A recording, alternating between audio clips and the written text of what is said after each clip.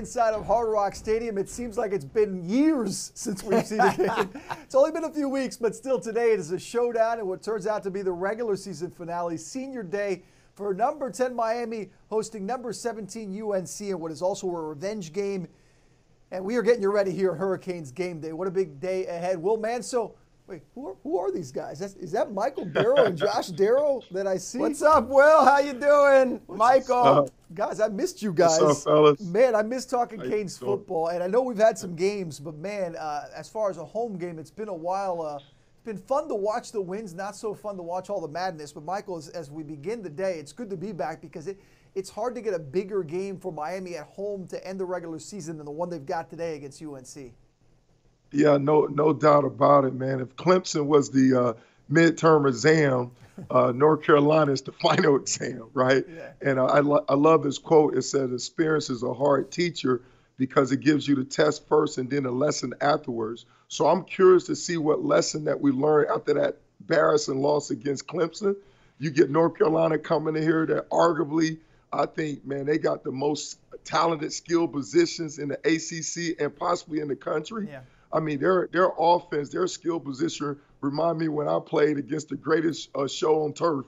You know, with uh, Torry Holt and Marshall Faulk and those guys, with the speed that they have on the field, man, they they're a, a great threat. I mean, they average uh, over 500 uh, yards per game. They score over 441 points per game, mm-hmm. and so I'm ready to see this matchup because you know, in the preseason, right, they were favored to win the Coastal. Obviously, the season didn't go as planned, but you can't sleep on them. This is a great matchup with Sam Howell at quarterback, and then the tail of our tape with our offense, with our team, and the momentum we've been having doing, like you say, during this uh, tough time. Man, our guys been responding. So I want to see how they respond to this challenge again because you know last year uh, North Carolina that was a tough loss, but hey, we can redeem ourselves like you talked about early in the show. Hey, Josh, to Michael's point, look, there's the football side of things, and obviously we're going to spend a lot of time here in Hurricanes game day talking about the X's and O's. There's also the, the storyline of things. It's been a brutal season uh, due to COVID 19 and all the adjustments that Manny Diaz and this program have had to make. You've got this being senior day. You've got next week's game, as we know, now officially canceled against Georgia Tech. So this is the regular season finale. And oh, by the way, if the Canes win this game today, they could be playing at home for the Orange Bowl. So it, you add it all up, and the storylines of this game are significant. Yeah, there's a lot at stake. You know, there's, like Mike said, you know, uh, we all talked and, and watched and previewed and, and, did all the aftermath on Clemson, and, and, this is the next big game on the schedule for the University of Miami. It's also the last game on the schedule, as you mentioned, Will, with the news about Georgia Tech. Of course, there's a bowl game to be played as well, but Miami's setting itself up to have a really special season, right? A, mm-hmm. a one-loss season uh, we were hoping for a 10 win season, but now that Georgia Tech game is gone to a nine win season, going to a New Year's Six bowl game, uh, uh, coming off really a year ago w- with a six and seven lopsided season, mm-hmm. you know, a huge turnaround, but you, you have to finish. You have to finish it off, and that's what's at, at stake today for the University of Miami. I think the other thing that's at stake, we've talked a few times this year, right, about either handling failure or handling success. Miami's coming off a huge win a week ago against Duke. Now you got to finish that off. You got to have the right mindset to not be satisfied, to see it through to the finish line, mm-hmm. to still reinforce the culture that, that Coach Diaz is trying to create, and then really tie that bow around a really special season that the University of Miami can have.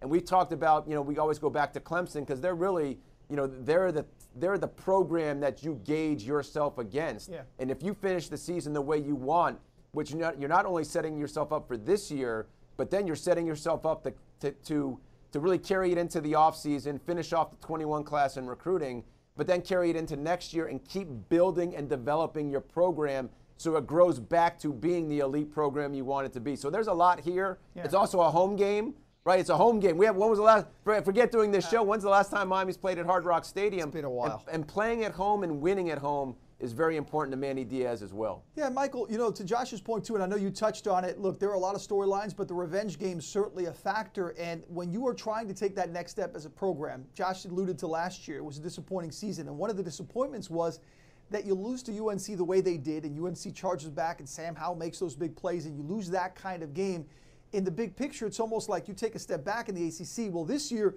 Miami has taken that step forward to be up there just below Clemson. And, and, and, as far as when you're looking at the bigger teams in the ACC, beating a team like this today and getting that revenge is significant, isn't it? And trying to say, hey, we're we are we are at that level where we have improved from last year, and now we're the team to be reckoned with, not UNC.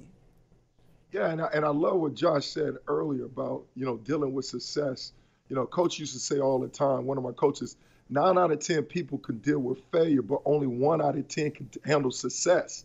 And normally I would be a little cautious, you know, because they might have been having some great wins. Mm-hmm. But I'm not worried about that this game because this is personal. You know, I mean, I was at that North Carolina game uh, last year, and just to see, I mean, North Carolina jumped out early on us. We came back, took the lead, Will Mallory touchdown, and then man, for North Carolina drive down the field and fourth and 17 no, convert that. Don't bring it up, Michael. Don't touchdown. bring it up, Michael. I know it hurts. Oh. No, hey, I feel like Joaquin, like like every no, that's my feeling hurts. And that pain, man, is is hurting because then also you factor in because they love their coach, right? Mm-hmm. And don't get it twisted. They know what happened to their coach when their coach worked with Mack Brown. So they want to oh, yeah. get that W for him you know, and leaving that. Un- so really, to me, it's unfinished business. And this year, we got to take care of business. As alumni, they sent out the like flyers for the game, and and they had and they had Nesta on there talking about stump the heels. That was the slogan, yeah. and that's what we need to do. We need to stump the heels today, man,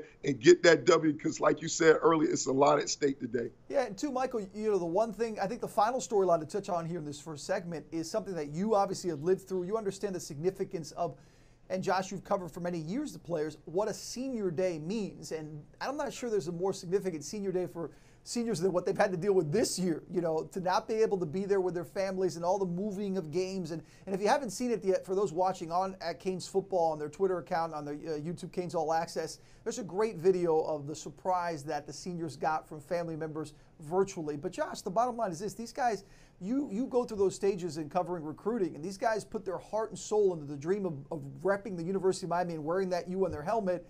And today's the final time they'll get to do that at Hard Rock Stadium, these seniors. Yeah, and, and, and Michael could speak to this obviously probably a little bit better than me, but they put so much into this. I don't think I don't I'm not sure people really understand what players and coaches the sacrifices they really make, you know, each and every week. When you're a student athlete, you might even be an athlete student because it's like full-time work. It's it's training room before practice, it's practice, it's coming back for meetings, it's studying on your iPads. Yeah uh, it's being away from from the student body when you're on the road, and then this year, you think about sort of the pressure that was on the the, the athletes to stay healthy, and, and, and all the rules and protocols and, and, and the risks they took uh, to just play football. And, and I think we've all seen how meaningful football is to everybody, right? With the pandemic, I, I can speak to it personally. I missed this I miss the games. I missed you. Legitimately, Absolutely. like the last few weeks, I miss getting ready for games. I miss watching film.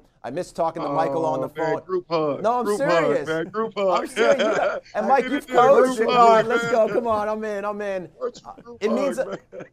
so if that's how it meant to me, Can you imagine the players. If that's how it means to me, imagine what it means to the people that in, that invest really their lives into this. Because I, I you know, the, yeah, we know you hear stories about the coaches and the hours they put in.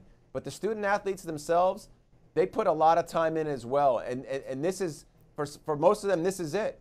You know, only a handful get to the NFL. This is the last time. Uh, and it means a lot. And I think it just, everything this year was heightened because this year there was such a strain. You know, there was such a strain this year mm-hmm. on everybody because of the pandemic. And I think it made everything more meaningful. Yeah, it's significant. Michael, I want to get your take on it a little bit later in the show because I think it's it's important for fans to hear your perspective as a player and what it means because you know it doesn't matter as Josh said it might be the, the last time that they rep the U at home and all those things but they'll. You're always part of the U family, and that never goes away. So we'll get Michael's take on that in just a little bit. But we're going to come back here on Hurricanes game day. We're going to also get into the X's and O's. This is a very good football game, regardless of all the storylines and big picture. So we'll get into some of the things to watch and what Miami has done since the last time we all talked. and luckily, it's a lot of good stuff when Hurricanes game day rolls on. But right now, let's get to our UPS delivery of the game. Coach, congratulations on that. And we have plenty of time to talk about Miami and Virginia Tech. But we have some other pressing matters to get to first. We're going to uh, have the program on pause for a little bit, and the schedule is going to change a little bit here over the next couple of weeks. We'll be off the next couple of weeks, and and uh, and but that will give our our guys a chance to get healthy to get well. We got to continue to battle the, the, the virus. We've got to double down on our protections because it's obvious that it's spread in our community is at as high of a level as it's been at any point this year. But if we do that, uh, we got to you know we got a little uh, run in December, and uh, and all of our goals still to play for. Dave O'Brien, Tim Hasselbeck broadcasting from home Katie George in Durham, and tonight from fanless Wallace Wade Stadium in Durham, North Carolina. Well, it's 2020, so it's not hard to believe a top 10 team like Miami will play for the first time in three weeks.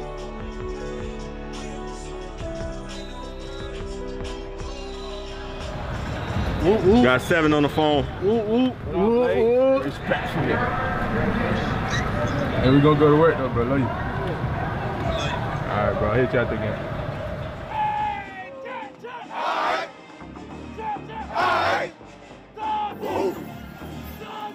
Rice looks, here comes the pressure. Phillips is there, and he's hit and brought down for a sack. They twist their defensive tackle and the defensive end. They all get the penetration. They swarm the quarterback.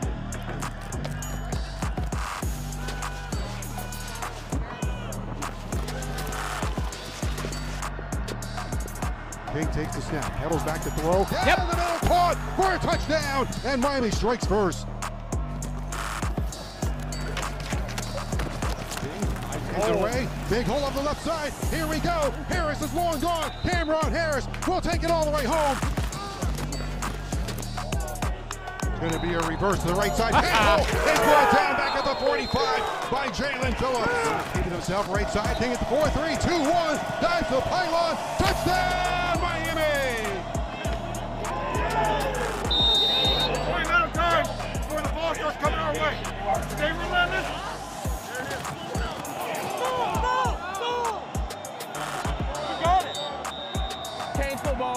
We here, baby. Looking All hit right. by Roche and brought down. Let's see what happens. It's Miami's football, and it's going to be Corey Flagg who comes away with it.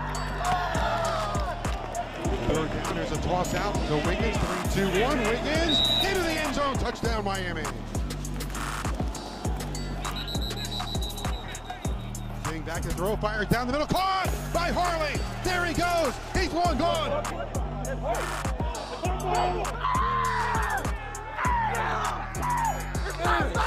Go! Let's go!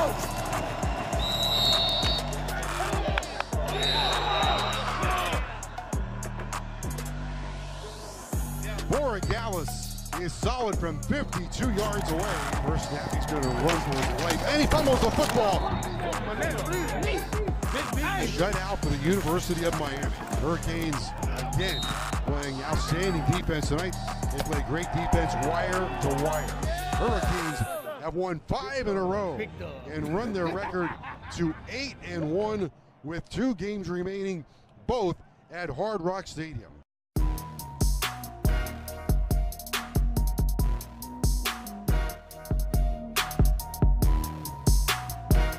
King back to us, looking deep, throwing it. It's going to be caught for a touchdown by Mike Harley. Two plays and a touchdown for Miami. King with a heavenly pass to Mike Harley for a touchdown.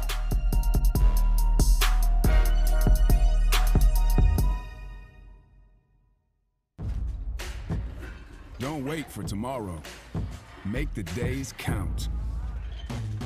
Gatorade has carbs to fuel and electrolytes to help replenish, so you can count on the proven formula.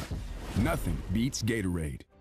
As one of the more than 1,200 physicians on the University of Miami Health System team, I want to welcome you. Our facilities are open. And we're ready to care for you. Our commitment to your health is unwavering. And we have implemented many new guidelines to keep you safe. We are ready to care for you. In our facilities or virtually, wherever you are. We're ready. And we look forward to caring for you.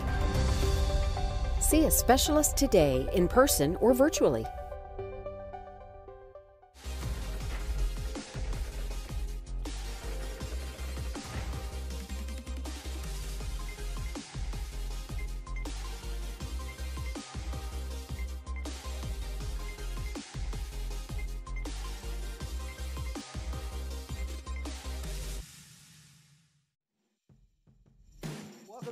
Hurricanes game day, and it is game day, a unique one indeed, inside Hard Rock Stadium for the Miami Hurricanes, taking on UNC in a very significant game. Senior day, major bowl implications, and oh yeah, a little sweet revenge. That would be nice too against the Tar Heels for what happened last season, and that is coming your way at 3:30 there from inside Hard Rock Stadium. But until then.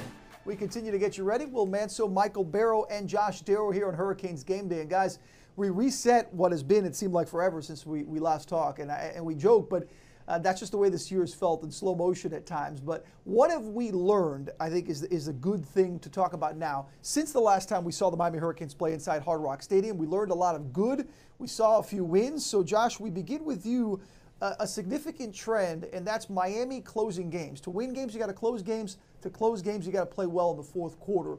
What have you seen from Miami in fourth quarters? Well, I think the biggest thing, Will, that we've seen is, is the very fact, and, and, I like I like doing this with you because you're my, you're our NBA guy. Right? What do they talk about in the NBA? They don't remember how you finish. They don't remember how you start. They always talk about who, who's the Those finisher. Final two minutes, right? That's who, what they always talk about in the NBA, right? Right. Who finishes? The, who finishes? Who are the playmakers? Who makes the plays? And yeah. I think with the University of Miami, when you look at the NC State and, and the Virginia Tech game, and even going back to the Virginia game, right? The games weren't perfect for Miami, and, and certainly in two of those games they were behind, but they finished the games when the games mattered most, right? They won in the fourth quarter. We got money time, winning time, whatever you want to call it. When the game was on the line, Miami made the most plays. And I think, you know, you look at the defense in the fourth quarter, you know, they were the ones that were making plays, as you see here. We kind of saw the emergence of the Corey Couch going back. I think to the NC State game. Mm-hmm. I think you also saw a team that you always hear coaches talk about toughness, right? Mental toughness or, or not panicking. And I think you saw a team that that persevered, right? They persevered. They got to the fourth quarter, uh, and then they made plays. Uh, and you see it right here. You know, Mike Harley making a play, D'Eriq King making a play. And I also think the other thing, uh, the, the final thing I want to mention here in terms of what we learned, and I know we've talked about this before, Miami's not winning these games without special teams. You know, Jose Jose Borregales has been huge. You go back to that NC State game. He makes two kicks in the fourth quarter. He, he misses any one of those. They don't even have a chance to win the ball game. So I think the biggest thing for Miami is when you have seasons like this, you're going to have close games. And the difference between special seasons and average seasons are making the plays to win the close games. And Miami has done that, and we've seen them do that here uh, uh really since the, since the last time we spoke. We had so much to talk about. Uh, they went on the road too, right? They went on the road and pulled those games out. And I think when you look at building a team and a program, mm-hmm. you know, winning in the fourth quarter and, and being tough and pulling out close games, those things are huge.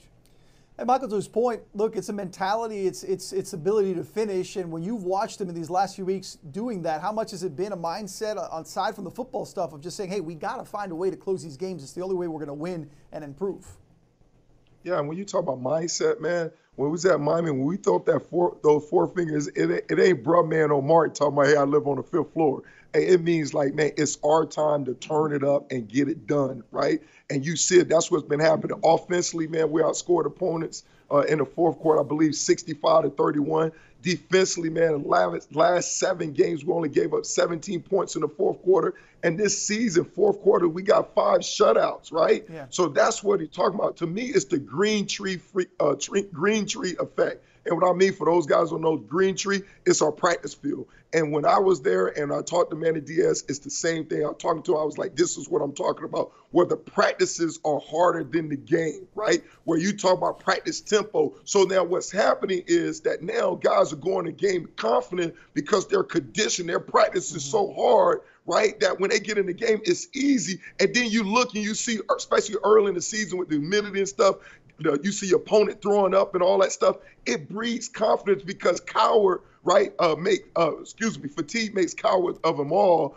But conditioning, being in the base, best conditioning, brings that confidence. So then now, when you in those situations in the fourth quarter, you like, man, we're the hardest working team. We got this. I remember when we played Florida State. Uh, Kirk Carruthers, uh, one of their, their linebackers, say, "Hey, we thought we was going to win in the fourth quarter, but Miami knew they were going to win. And when you see the guys step on the field and you look at the leaders, right? That old remember yeah. the Titans like uh, a leadership reflect attitude. Yeah. Like you see D'Eriq King, ain't nothing. Everything about him is we about to win. You see Bubba Bolden nose bleeding, right? We about to get this right. You see Quincy Roche, Jaelan Phillips, man. Those guys turn it up to another notch. And that's the thing that I like, man. Just the attitude, the right mentality in those situations. Like Josh mentioned, hey, you got to go finish, and those guys been doing a great job of finishing.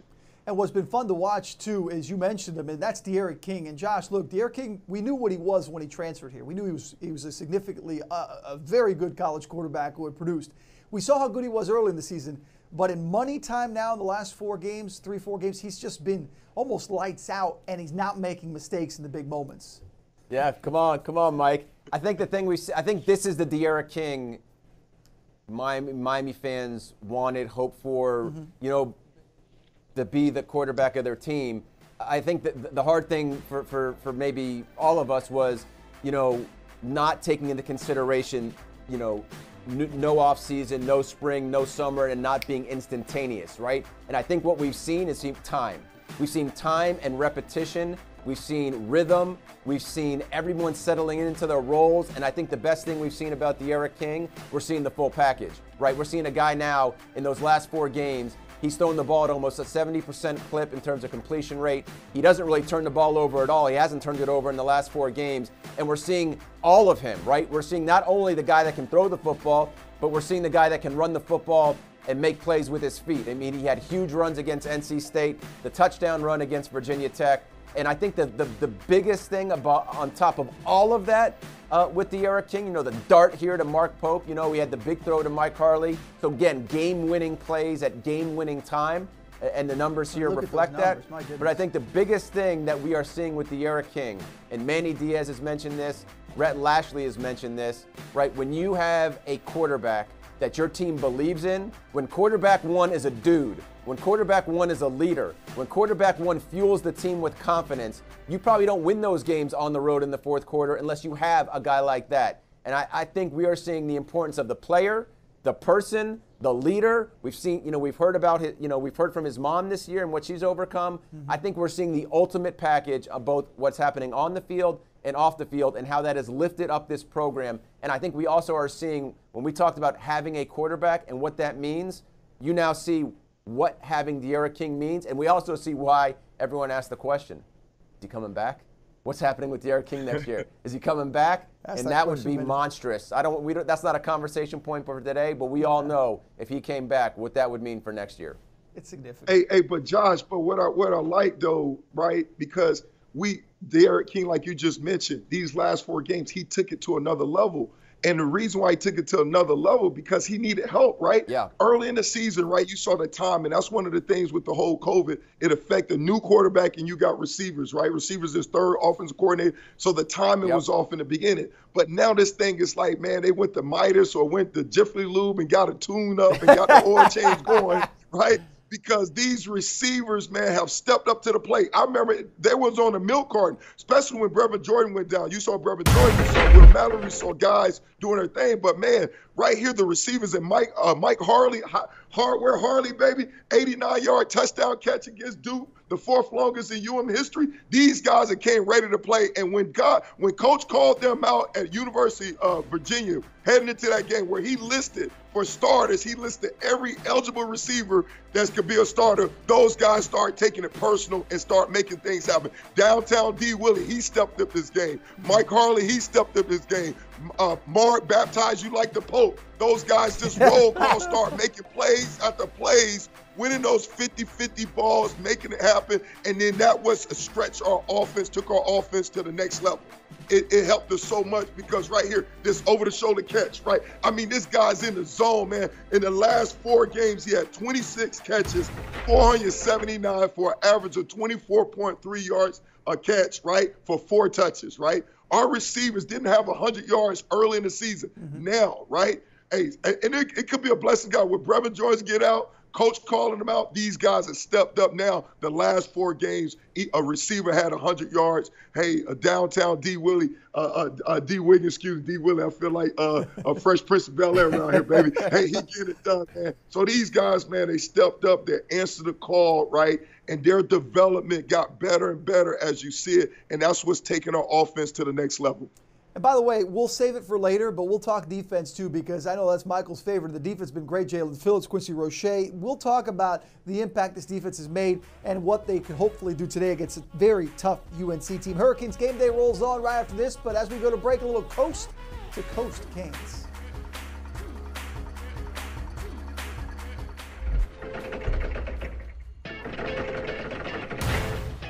Hello, my name is Denari Middleton. I am a fourth grader at Barack Obama Elementary School in Jackson, Mississippi. I am the ultimate Canes fan. Like I have my water bottle and my um, my football, and my entire room is University of Miami. And I have autographs of Miami, three autograph photos of Miami coaches. I like the players on the football team. I like Sebastian, and I like the coach Manny Diaz. When I was five months old, I had my right kidney removed. Over the years, I have undergone 10 other surgeries. I won a national contest for my own superhero, the Kidney Man. The Kidney Man is a superhero I created so I can help sick children like I was, and he helped with like kidney disease kids. And so he basically would like fly around in the sky, and if he saw a sick kid, he would drop magic raindrops on them and then they would become they would feel much better. I got to meet two senators, Cindy Hyde Smith and Roger Wicker. I also got to go see the White House and the state capitol. I'm a huge Miami Hurricanes fan because I like the players. My entire room is the University of Miami theme, including my PS4. When I graduate from high school, I plan to attend the University of Miami School of Law and play football. I want to go to law school so I can try to become a judge and help people with their needs. Thank you for this opportunity. It's all about you.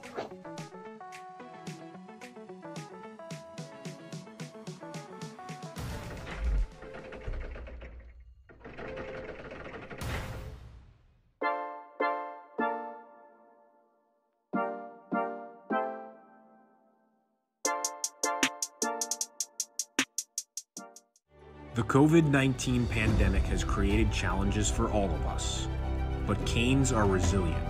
Canes are united. As an athletics department, we are facing significant financial challenges related to the pandemic, but we remain committed to our mission of building champions. We stand united in support of our young men and women and launched the Canes United COVID-19 Relief Initiative. Show your support of the Canes by making a gift today at.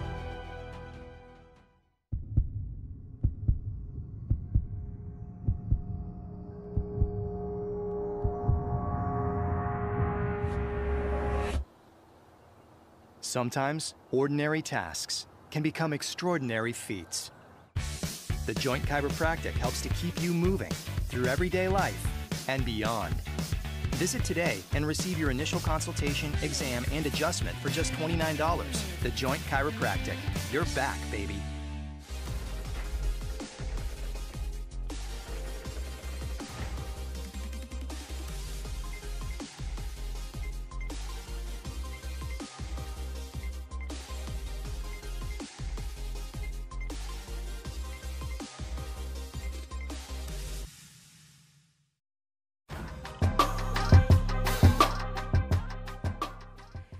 Time for the breakdown segment with Miami head coach Manny Diaz. Coach, what do we have today?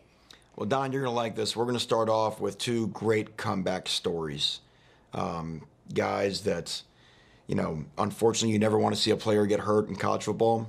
Uh, sometimes guys do. We've got a ph- phenomenal medical staff. We've got a phenomenal training staff here at the University of Miami um, that can rehab these guys, get them back, and, and, and you want them to have the reward because that's a lot of lonely days uh, when the team's off practicing or lifting weights in this area and, you, and you're all out there alone. And um, But some guys, you know, worked hard and, and you, you want to see what they get on the game, and, and, and we saw it this week. And we'll start off with, I know, one of your favorites, Navaughn Donaldson. Yeah, Good.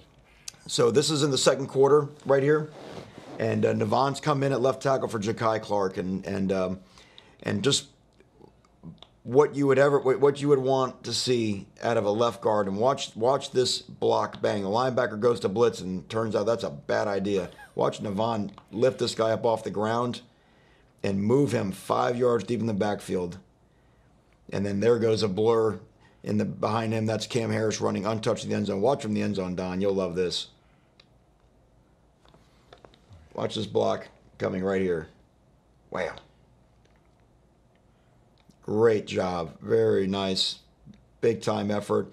Watch DJ Scaife. You'll see. Watch DJ finish off Oh, right yeah. here. Corey stumbles, but DJ does. I mean, striking his man, running his feet on contact. I mean, you know, I always say, you know, you watch the line. Watch watch the the guys in the white helmets get past the line and just. And I mean, look at this. Look at that highway right there that Cam Harris can run through. Okay, coach, we can't forget Zion out there at left tackle. He does a great job, but go back to Navaughn. It's like you coach linebackers forever. What, how do you coach a linebacker say when you hit this wall and you get moved backwards, what do you do? Yeah, don't run into don't run into a refrigerator. That'd be the first thing I would tell him. I'd, I'd say I'd say you know try, try to pick a side. He tries to at the end, but you know but to Navaughn's credit, he does a great job as a guy tries to come inside. He stays with them and, and, and watch. And you know this, just watch. You know the footwork. Coach Justice works on the footwork. Watch how he just takes short steps, keeps those feet moving after contact, and see how the feet don't stop right there. And that's where the power goes. And like I said, in every step, there's our training staff, David Feely, his staff, you know what I mean, and and and, and building you know Navaughn's strength back. Um, really nice job. You got to got also shout out uh, Jarrid Williams on the backside. Watch him cut his guy off right there. You know, by the time he tries to get free, Cam's gone. It's a really really nice job. Now we saw all the turnovers uh, from the game, and here's another one. Okay, and it's going to start off great defensive football. A lot of guys doing right. Okay, Quincy Roche slips a block and is in the backfield, which is exactly what we want because now the running back's got to run sideways, east and west, and that's how we become a, a great tackle for loss team every year. Waynmon Steed is lined up out here at will linebacker against their tight end, and he's going to set an edge right here and turn this play back in to all of his pursuing Hurricanes. Watch, he does a nice job, sets an edge on the tight end, and what we always say at Miami, if we could play defensive football, pretend the football field only was as wide as the numbers. How, how much easier would it be to, to defend that space? And if you know that, then all your teammates, all they ever have to do is run the length between the two numbers. It's a shorter field, makes makes makes it much easier to play. So Waynmon does a great job, great physical tackle, and that allows guys like Jade Silvera. We've talked about his effort on this show before. Watch Jade Silvera's effort comes out of the stack. Watch how no one in the defensive line ever breaks stride. Everyone full speed of the ball. Bam. Violent two man sandwich on the running back. But now look, there's a ball on the ground. And watch the effort of Quincy Roche, Bubba Bolden get on top of it right there and create the big turnover. The turnover chain comes out. But really, really proud moment for Waynmon Steed. He's worked really, really hard, just like Navaughn has, to come back. Well, Coach, I don't think people realize he- he's been injured. Waynmon's been injured, or if they had forgotten, he's been injured a long time. And to have his recovery and get back his reaction time like he has, he's completely overcome that injury. That's right, and it was it was not a, an easy injury to, to overcome. It was a very difficult injury, and again, to see him be able to move, bend, and strike like this will do wonders for his confidence as well. So I want to show you down next. I want to show you a little two-play sequence here from the third quarter, and it's going to end. I'm going to I'm going to I'm going to, you know give you the, the the ending. It's going to end with Mike Harley going for an 89-yard touchdown. But sometimes, like we talk about on this show, we like to kind of get under the hood and see a little bit about what sets it up, okay? So this is the first play of a drive. We got the ball at our own nine yard line. Not ideal, right? So we run a, a, a running play here with Cam Harris. And this may not seem like a really good run by Cam, but it is. You know what I mean? Does a good job. It's not, you know, there's not a giant hole there. And sometimes the running back, you just got to put your foot in the ground, you know, sort of stick it in there and just go forward, right? Get the offense going, go forward. Okay? What I want to point out to you, Don, right now, is this person right there. That's right. You ever see who that is? That's Mike Harley. Okay. So what's going to happen is, so the play's over. Okay. There's the scoreboard shot. Here's the next play. All right. Mike Harley is now right here. Okay. So now watch. So remember, he was standing over here. Obviously, there's been a little bit of time has elapsed, and we're right there. You see, Miami is all lined up, which means that a guy like Mike had to sprint all the way across the football field to get to that spot. Now, the defensive backs that were covering him on the last play, okay, are all standing straight legged. They don't have the call yet. The defense line, look at the offensive line's ready to play. Defense line not ready to play yet. And this is what tempo does to you. And if you don't practice against it, it is very difficult. Okay, because Duke's got really good coaches. They know what they're doing. But again, watch what happens. Late communication between the secondary and the ball snapped. So look at the position that 39 is in when the ball snapped. Not ready to play. And then all we run is two guys simply going vertical, and look what happens. Two guys take one guy. They have cut Mike Harley completely free. And if we didn't want to go to Mike, we've got D breaking th- through wide open on a post route right here, but Mike wide open on the middle field. Now, D'Eriq still got to put it on. You mentioned this earlier. Accuracy, bang, boom. And that's an example of even on that first down play when you, when we ran the zone play for two yards, what's that doing? That sets up our tempo. And going forward, gets the tempo set up. And for a guy like Mike to sprint all the way right there, he didn't know he was doing it to catch an 89 yard touchdown pass, but he did. And that's one of the cool things that this offense has brought to us. Coach, when you when you look at this offense and what it does to the secondary, the tempo is really disrupts communication of an entire defense, and that you know from you being a coordinator for so many years, that creates problems if the defense can't communicate. Yeah, it absolutely does. And if you think about and then and then there's another problem. It tires out the defensive line. So when I'm not in a stance and I'm not really comfortable, Duke's got outstanding defensive ends. Number one and 51 are both really, really good players. But I'm not quite in a stance. I'm not quite comfortable. Okay. And that allows, you know, a guy like Jarrid Williams to watch. Does a great job, pushes uh, the, the, the pass rusher by. Yep. And look at this pocket for D'Eriq. Now, yes, of course, I mean, they've cut Mike completely free. But I mean, D'Eriq right here, I mean, I mean, that is untouched. That's as clean as you can get it. So again, that's just how you know, Duke's defensive line ab- absolutely wore us out in this game a year ago. The reason why they won the football game. So you see how just little things make a difference and lead to the, the success we have. There you go. And it's fun when it's, it goes for 89. And then the last play I want to show you is this, and this is where you get a chance when you got some really special players um, to, to, to create some things for them. You know, so we get Duke in a third down situation. Okay, we're going to play man-to-man coverage uh, all the way across the board. They're trying to get right here to the to the 49 yard line. Okay, and just take it. You'll take a peek at the at the at the coverage for a second.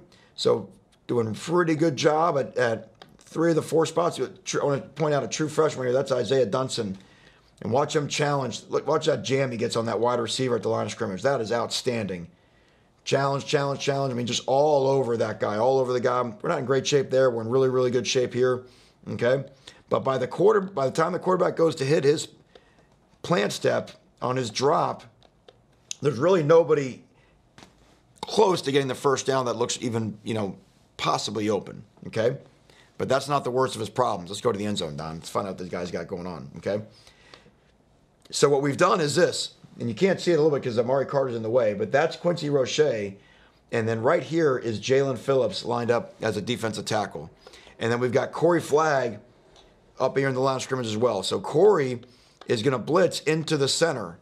And just by the center's eyes, just enough. See how the center's trying to work towards Jaelan? Yes. And then we've isolated Jaelan one on one on a guard, which is not really good news for the guard. Jaelan does a great job of just dusting that guy. And then watch what Corey does. By the time the center goes to help, Corey's going to loop back around and finish the stunt right there. So even if the quarterback got away from Jaelan, which, spoiler alert, he's not going to, bang, gets hit right there like that. And you still got guys like Roche and, and Harvey providing that edge pressure. Really, really tough down to be a quarterback right here. Coach, what's it do? What's it do for number 11's confidence? Here he is, a guy that has played special teams for you. He's done a, as good a job as you can ask for, but now he is in the mix for a big play. That's right. And and if you get on our third down defense, that says a lot about you. You know what I mean? And we're looking for guys that can make plays out here on this unit, trying to create special one-on-one matchups like we've done right here with Jaelan. But if if he doesn't do his part and engage the center, the center is going to turn and they're going to double team Jaelan, right? And so we're, we're aware of that. So he's got to do a really nice job, you know, engaging right here in this gap to buy these two blocks to create the one-on-one for Jaelan. So it's not just, you know, you know, being an athlete, you got to know what to do and you got to execute at a high level. And Corey and Jaelan work this to perfection. All right, Coach, thank you for your time. That does it for the breakdown segment with head coach Manny Diaz. As one of the more than 1,200 physicians on the University of Miami Health System team, I want to welcome you. Our facilities are open. And we're ready to care for you. Our commitment to your health is unwavering. And we have implemented many new guidelines to keep you safe. We are ready to care for you. In our facilities or virtually, wherever you are. We're ready. And we look forward to caring for you. See a specialist today in person or virtually.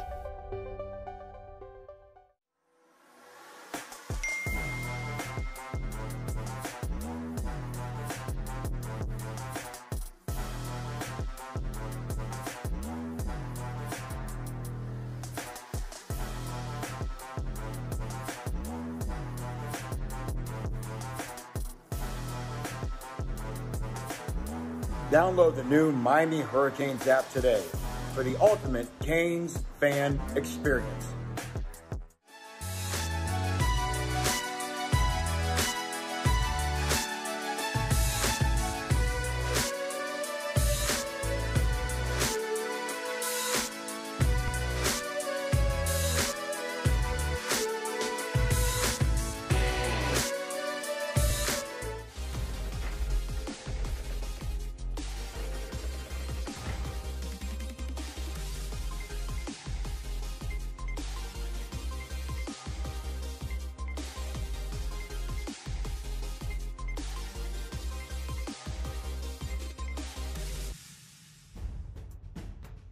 Welcome back to Hurricanes Game Day. We're getting you ready for the final regular season game day of the season. Right there at Hard Rock Stadium, the Canes 10th in the country against UNC. We'll talk much more about the present in a moment, but now it's time to take a walk down memory lane, Michael Barrow. And I'm just going to say the name Jimmy Johnson to you. What, what comes to mind? Uh, a commercial for hair, hair product, gel. no, man, what comes to mind, man, Hall of Fame coach. I mean, when you look at the definition of a coach, that when you go, uh, unlike you, Will, you travel first class. I travel in a bus, right? and you sit in it called a, a, different word is called coach, right? And it takes you from one destination to the next. And that's Jimmy Johnson. Man, he's good at finding talent, developing talent, making sure talent shows up ready to play. And everywhere he's been, right, he take from where they are to where they should be. University of Miami, all right, maintained the championship, was able to win championship, went to Dallas Cowboys, able to do the same thing. Man, I remember as a as a freshman coming in, and you were like, Jimmy just intense, man. He just walk around and, and he let his coaches do the job. But every day, and that's the green tree mentality, whether it's mm-hmm. practice or game, you came ready to play. He understood the importance of preparation, preventing poor performances, and he prepared you to be the best you could be. So it's no surprise in him coaching all the great players at Miami, going on to other careers, Dallas Cowboys coaching the Triple Hall of Fame players, mm-hmm. because he's able, no matter who you are, take you for where you are, take you to where you should be. So many great Canes during that era, including yourself, and it is time to take a look back at that legacy of Jimmy Johnson. You think of all the great people that you coached or you coached with that you and, and really for me and, and for us i guess i could speak for is the impact you had on those players i mean they they he impacted my life hugely. You know, th- those things are because of Jimmy Johnson. We got 75,000. There's one in every seat, and they came here to see Hurricane football. Get after them on offense. Make sure it's a complete ball game today. A complete ball game from the very first whistle. Offense, defense, the kicking game. Let's go like a bunch of crazy men and play some games. Oh, yeah. I just think back to all the, the speeches and Thursday night speeches and the, the pre games and the Friday night up at Miami Lakes. Uh, it was always uh, centered about being the best. And, and that's what always rings in my memory about the 87 season, about walking off the field, being the best. How does it feel, Jimmy? I don't know. I can't feel anything. It's, it's fantastic.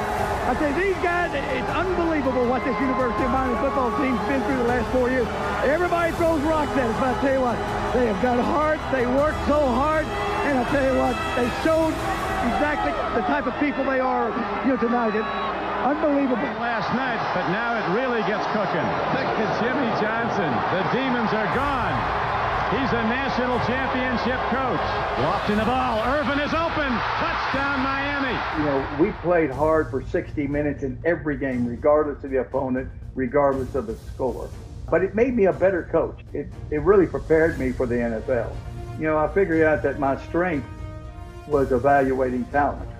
That's what I learned about myself at University of Miami is really play to my strength evaluating talent.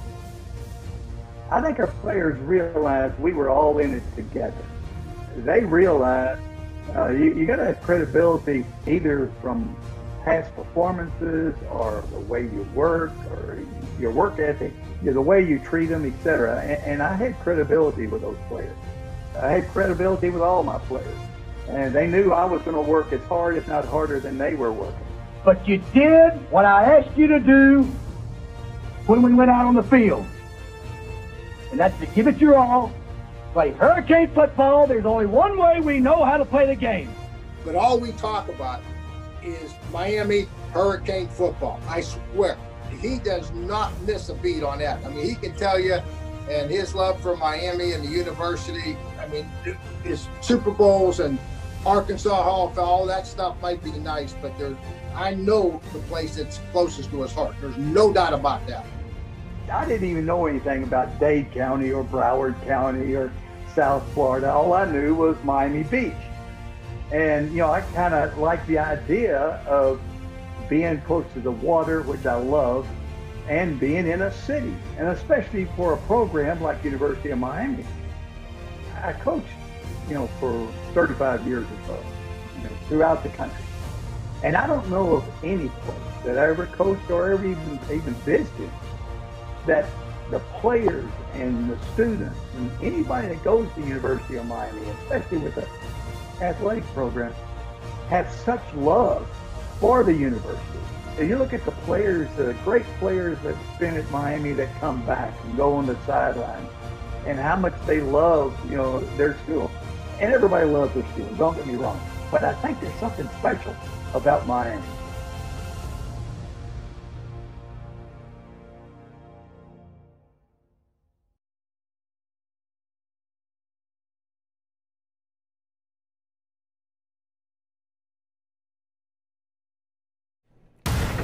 As the official chiropractor of the Miami Hurricanes, the Joint Chiropractic presents Game Time Adjustments. Walk in and receive their new patient special, including consultation, exam, and adjustment for just $29.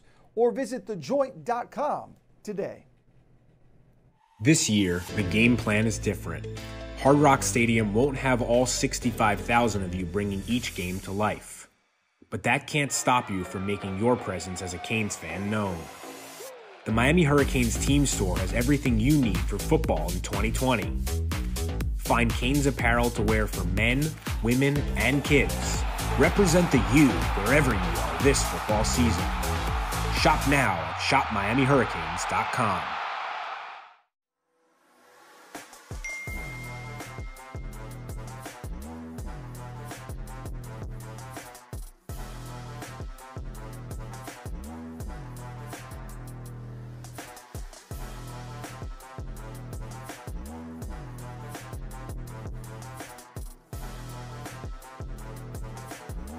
Download the new Miami Hurricanes app today for the ultimate Canes fan experience.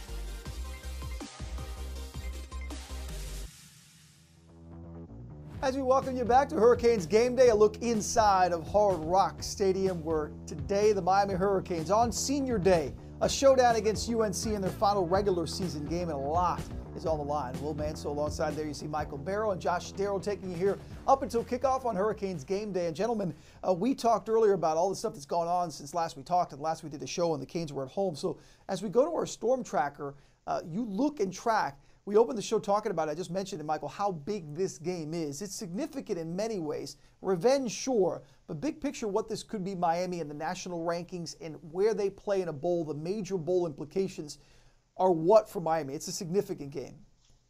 Yeah, no doubt. And the players, are, they understand what's, what's at stake here. Uh, talked to Coach Diaz, and one thing he mentioned, he said early in the week, you know, he always showed the ACC standings. He always show, talk about the possibility, right? And so they know what's at stake. They know what this game means. Uh, getting a victory today, North Carolina put them in a position to be part of a, a New Year's Six Bowl, right? Put them in a great position. That'll be great for the program. Also affect recruiting. It'll, it'll just have a big impact on everything. And you talk about this being senior day, right?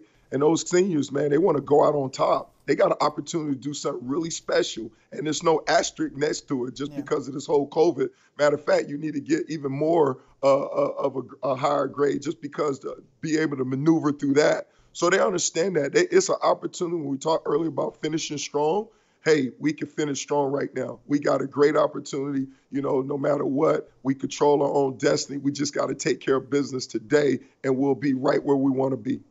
Hey, Josh, to Michael's point, you know, where you want to be and how you want to finish, there's a bigger picture element to this as well that extends past the season, and that's recruiting. And look, recruiting is difficult in these times with everything going on with COVID. But when a, a young player or a young student athlete is thinking about going to a school and they see the University of Miami in that top 10, they see the University of Miami in the spotlight of a New Year's Six game, it's significant. So when you tie that into it, Josh, and where Miami stands right now in the rankings, how, how important is that? It means everything, right? We, we've talked about it at, you know, multiple times how you build your program. The, the winning obviously is, is, the first thing, but the second thing is recruiting, and you got to stack class on top of class on top of class so that you have layers to your roster. And you look, you look right here, right? Miami's sitting at number 10. You look at the top line with Alabama, Notre Dame, Clemson, Ohio State. Mm-hmm. Why are those teams at the top line? They have the most talent. Miami's trying to get there, and the best thing for Miami is to be in this position to take the next step. Remember, a year ago, a year ago, we were in Shreveport. Okay, that's a whole different conversation than what we're talking about today, which is finish with a win against North Carolina and playing the Orange Bowl. Now you're on a national stage, primetime television. You're in the final conversation. You're in, you know, on the Tuesday when the rankings come out for the College Football Playoff Committee, Miami is one of the teams that's being talked about, and they're being talked about for a reason. Last year, that wasn't the case. The year before, maybe that wasn't the case. Now, Miami and Manny Diaz and Rhett Lashlee and everybody else, the 21 class is pretty much put to bed. There might be one more big fish out there that they're trying to reel in. But when you beat North Carolina, or if you beat North Carolina and finish the job, you like can say when. About, you can say when. I, I, like when. when you, well, I don't, I, I don't like to, to jinx things. I, I, think like a coach, right? If we win, or should you win, uh, and you finish what you started, and you and you, you accomplish the goal, right, of, of having a, a nine in one season uh, and getting into that bowl mix. Really, what that does now is you start looking at the 22 class or maybe even the 23 class, those people that you're in conversation with, now you can say it's not about what you say, it's about what you've done. Right now, instead of just visiting Miami because it's a cool trip to take, you're visiting Miami because you want to be a part of this program. You want to be the team that goes from a New Year's a New Year's Six bowl game to the Final 4 mm-hmm. You want to be part of the solution of taking this program to the next step. And that's how important this game is, right? This game sets up this year, but it really starts to elevate Miami for next year and the year after because of Will, what you said, what it means for yeah. Miami in terms of layering in the talent so that they can go from 10 mm-hmm. to 4 or 10 to 4 to 2. Right yeah. now, you're on that top line. That's kind of what this is all a big setup, right? There are steps in, in place there's the process of, of creating a, a perennial winner. That's what today is about. It is, and it's something to watch. And again, they continue to build, and Miami in great position to be in a major bowl with a victory today. And that is part of what we followed since last we talked. And unfortunately, uh, with all the good that has come, there is some bad that has come. And, and, look, we talk all the time about the University of Miami family. I think when people talk about recruiting, that's one thing. When you come to Miami, whether you're a student athlete or just a student in general, and you know Josh covering the, the team for years and the great players. I'm a proud alum who's had the chance to cover players throughout the years in these programs. And Michael, you as an alum and a former player, you know what it's like to be part of the U family. And we lost a member of the U family in just the last few weeks, and Marcus Carey, just 48 years old, lost his battle with cancer a significant impact uh, whether we lose anyone in the U family. But Michael, for you and hearing his death and, and what he meant to the program, your thoughts on, on the man Marcus Carey was? Yeah, I mean, I had opportunity to play with Marcus, man. Uh, he played safety for us, a part of two national championship team, uh, local here from uh, Palm Beach County. And the thing, and then also he served in the community, man. He was a police officer mm-hmm. for 22 years. Uh, but Marcus, as a teammate, man, always smiling, man, a big old head, big old smile on his face, full of wisdom, man, common voice in those times, man, very mature for his age, very responsible, man. So my heart goes out to uh, his family, you know, his wife and his kids, man, and, and his friends. I'm part of a group chat with uh, with with a lot of other Hurricanes, man, and uh, Daphnis and AC Tellison, a whole bunch of guys, man, and just uh, look at the comments and man, people, man, just he would be deeply missed, man. Just the impact that he had, uh, not just on the football field, uh, but also in the community, but also as a friend, as a husband, as a father, as a son. You know, we lost a great dude today. Well, I mean this year, excuse me. Yeah, well said, Michael. Indeed, uh, and someone in the U family that we certainly love, and we send our condolences to his family from everyone at the University of Miami, whether it be former players, former teammates of Marcus, and as Michael just mentioned, someone very significant in the South Florida community. Marcus Carey, may you rest in peace.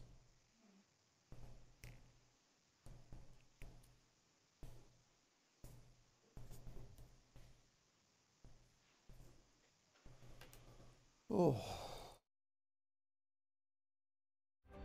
As one of the more than 1,200 physicians on the University of Miami Health System team, I want to welcome you. Our facilities are open. And we're ready to care for you. Our commitment to your health is unwavering. And we have implemented many new guidelines to keep you safe.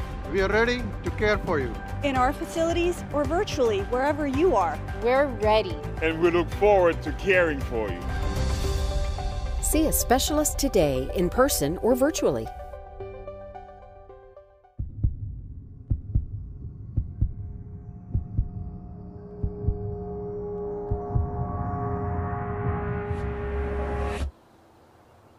Sometimes, ordinary tasks can become extraordinary feats.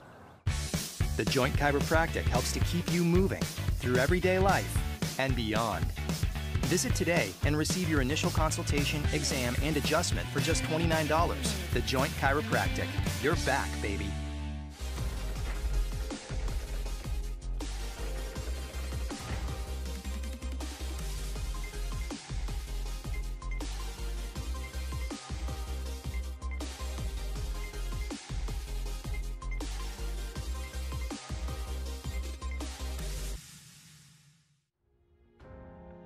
Back to Hurricanes Game Day. We're getting closer and closer to Miami football today from inside Hard Rock Stadium. The Canes and the Tar Heels will continue to preview the game and get you ready for what is a significant game for UM and trying to improve to 9 and 1 and get a chance to play in a major bowl. Will Manso, Michael Barrow, Josh Darrow here on Hurricanes Game Day. Guys, we're excited to be back, and it's always fun to talk about a winning team, and obviously the Canes are that. But when you look back, not too long ago, and Josh, you referenced it just a couple segments ago of this team the I don't want to say the failures, but certainly the disappointment of last season in year one of Manny. And the part of growth is learning from your mistakes. And when you look at the offseason, when you look at the production on the field, a year ago it was very easy to rip on Manny Diaz, and it was done, whether fairly or unfairly, a lot by the media and by fans. But if you're going to be that person, you've got to also give Manny credit when he does the job, given everything that's gone on that he's done this year. So, Josh, when you see it, the changes, whether it be coaches, players, the product on the field, what stands out to you? Well, I think the first, if you, anyone that knows Manny and Mike's, you know, talked, you know, talked about how he's had conversations with him. I've had the good fortune of knowing Manny since he was the DC here under Mark Richt. Manny's a, he's a very aware person. You know, he, he he's grounded in, in, in reality, and he's kind of a normal uh, coach. Coaches are unique creatures. Michael knows that. They can be a little hard headed. They kind of live in their own world. I think Manny's is very aware, and I mean that in a good way. And I think when you look at a head coach, what's their job? Their job is kind of create the environment, you know, in the room, so to speak. They mm-hmm. they set the the temperature, they create the culture. What do they want the the kind of the vibe for their team to be when when they're in the building? And then obviously you got to hire the right people. And I think when you look at a coach, when a move goes wrong, there's one or two ways to react. Some coaches kind of dig in right? They dig in, they go, no, no, it's my way or the highway. I'm not listening to anybody else. This is right. I know what's going on, and they press forward. Or they they they kind of come to the realization that maybe they made a mistake. A move and a change is needed, and Manny Diaz did that, and he very he did that very quickly, and he was very decisive. So I think you have to give Manny Diaz a lot of credit for that. He knew something wasn't right. He made a change, and then he went out and he made a great hire, and I think everyone can applaud him for Rhett Lashlee. I think the other thing he did that maybe goes a little bit unnoticed, he changed he changed the staffing in the recruiting department. Uh, he kind of went out, he, he kind of cleaned house in, in, that in that room, and, and he brought in guys that really weren't just scouting, but they were also recruiting. So they're working for the coaches while the coaches are coaching. They're developing and nurturing relationships and setting up the coaches who are also following through. So he, he kind of revamped the recruiting department. He made a change with his coaching staff Okay, and then I think the other thing too, which he has had success with, is he got he went he went back into the portal again, and I and I think once again he figured out a way. Look, um, we were not coming off a very good season. We still need to acquire talent. We have some deficiencies in our roster, and once again he went to the portal and he found answers. Yeah, and one of the answers, obviously, D'Eriq King. And when you look on the defensive side of the ball, Michael, I promised we'd talk defense and some of the impact players. And he went into the portal a couple years ago. We got Jaelan Phillips, and we're seeing the impact he's had. We went into the portal. We got Quincy Roche. We've seen the impact he's had. The bottom line is you can go in the portal and get players, but doesn't mean the players are going to be good. The players Manny has gotten right. have been very, very good of late. Yeah, no doubt, man. You're talking about going to portal, man. It's equivalent to free agent signing in the NFL, man. It's huge uh, recruiting is more like the draft, but this portal is like free agent signing, man. And and you heard Jimmy on that piece, far as doing a good job evaluating talent, and he did a great job evaluating talent because everybody he brought in made pay dividends from D'Eriq King to Jose Borregales, but I'm not Italian, right? uh, to uh, to uh, Williams, the right tackle, and then and then you talk about Quincy Roche, but one guy that he had to put on Lelway because he couldn't play right away when he transferred uh, came in uh, was Jaelan Phillips, and Jaelan Phillips, man, he must think it's still Halloween because he is playing like a werewolf, man. This guy, man, for the last three games, all right, he's been dominating with 22 tackles, nine tackles for loss uh, six sacks, man. He just took his game to the next level. And man, this guy, man, having big impact. And you know what the thing I like about it? You know, uh, he didn't shy away from it. He said, man, we talking about uh, uh, uh, Ros- Rosu, excuse me, uh, uh, Roche, uh, the impact he having. And then uh, Jaelan Phillips like, look, give me number 15, all right? Give me Rousseau, all right? No, never mind. I want the pressure on me. I'm gonna take his number and I'm gonna take it to the next level. And that's what he did. And talking to Manny Diaz, right? Manny says since he been here as a coach, Jaelan Phillips is by far the best defensive player he's coached so far. That's a scary And the thought. reason why he said yeah. that is not just because it's athleticism. He said because he's relentless to the ball. He plays hard. And you look at his game, right? It's complete.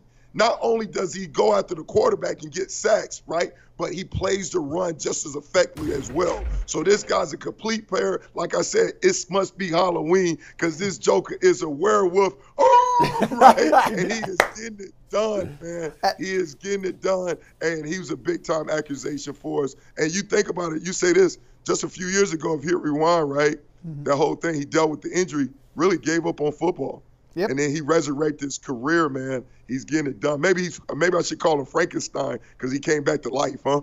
And by the way, I want to notice, note one thing uh, because we had mentioned it earlier. I want to make sure we mention this too. Is that is give Manny credit for what he's dealt with with COVID nineteen, and not that we have to have a deep yes. discussion because I think we all know. But just given what happened recently with Al Blades, you know, Al, Al announcing that he's going to uh, that he's dealing with myocardia, uh, making that announcement via social media. As of last week, I was going through COVID protocols.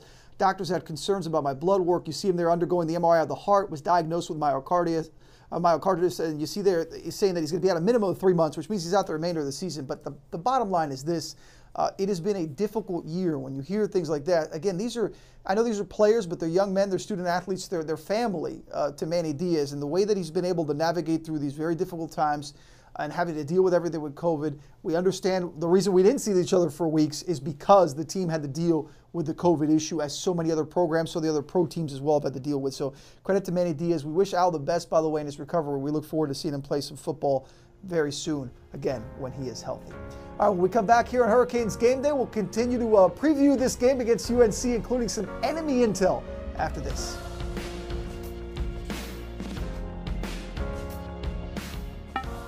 In our last UHealth Canes checkup with Dr. Kaplan, he talked about the relationship with the University of Miami Sports Medicine Institute and the University of Miami Athletics Department.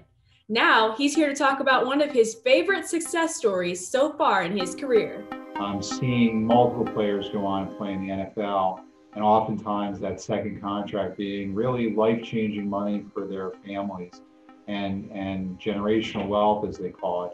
But I also take great pride in their getting their education. I think it's really important, and I think UM does a great job in doing that, so that when they get done. So one of the most fun things I had was Duke Johnson, who had a very serious injury in the 2013 game um, against uh, Florida State. Duke got injured, but he wound up coming back the next year. He was the leading rusher ever. He went on to play for the Browns, and I was with the Texans. For me, watching people go on in their lives is, is important. I get I have great pride.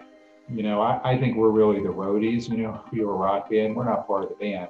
Um, but seeing athletes out there playing after they've been injured and knowing they can come back and be successful and then go on, uh, hopefully it takes them to the NFL or the NBA or the WNBA or professional track or professional baseball if that's what they want. But utilizing the, the life skills they've learned in our athletic department to go on, I think is critical.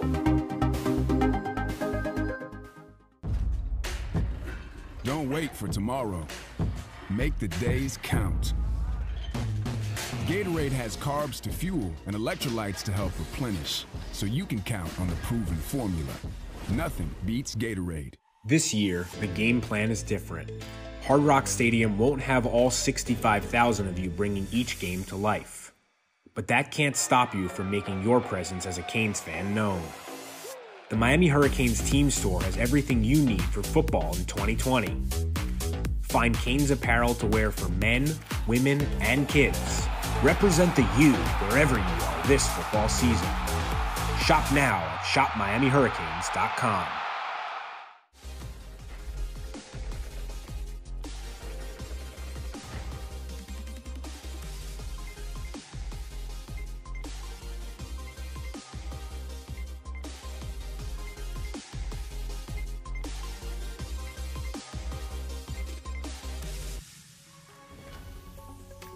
beautiful place. Even when it's empty and quiet as it is right now, as the Canes and the Tar Heels get ready for a showdown at 3:30, a little after 3:30 kickoff from Hard Rock Stadium, the regular season finale for the Hurricanes.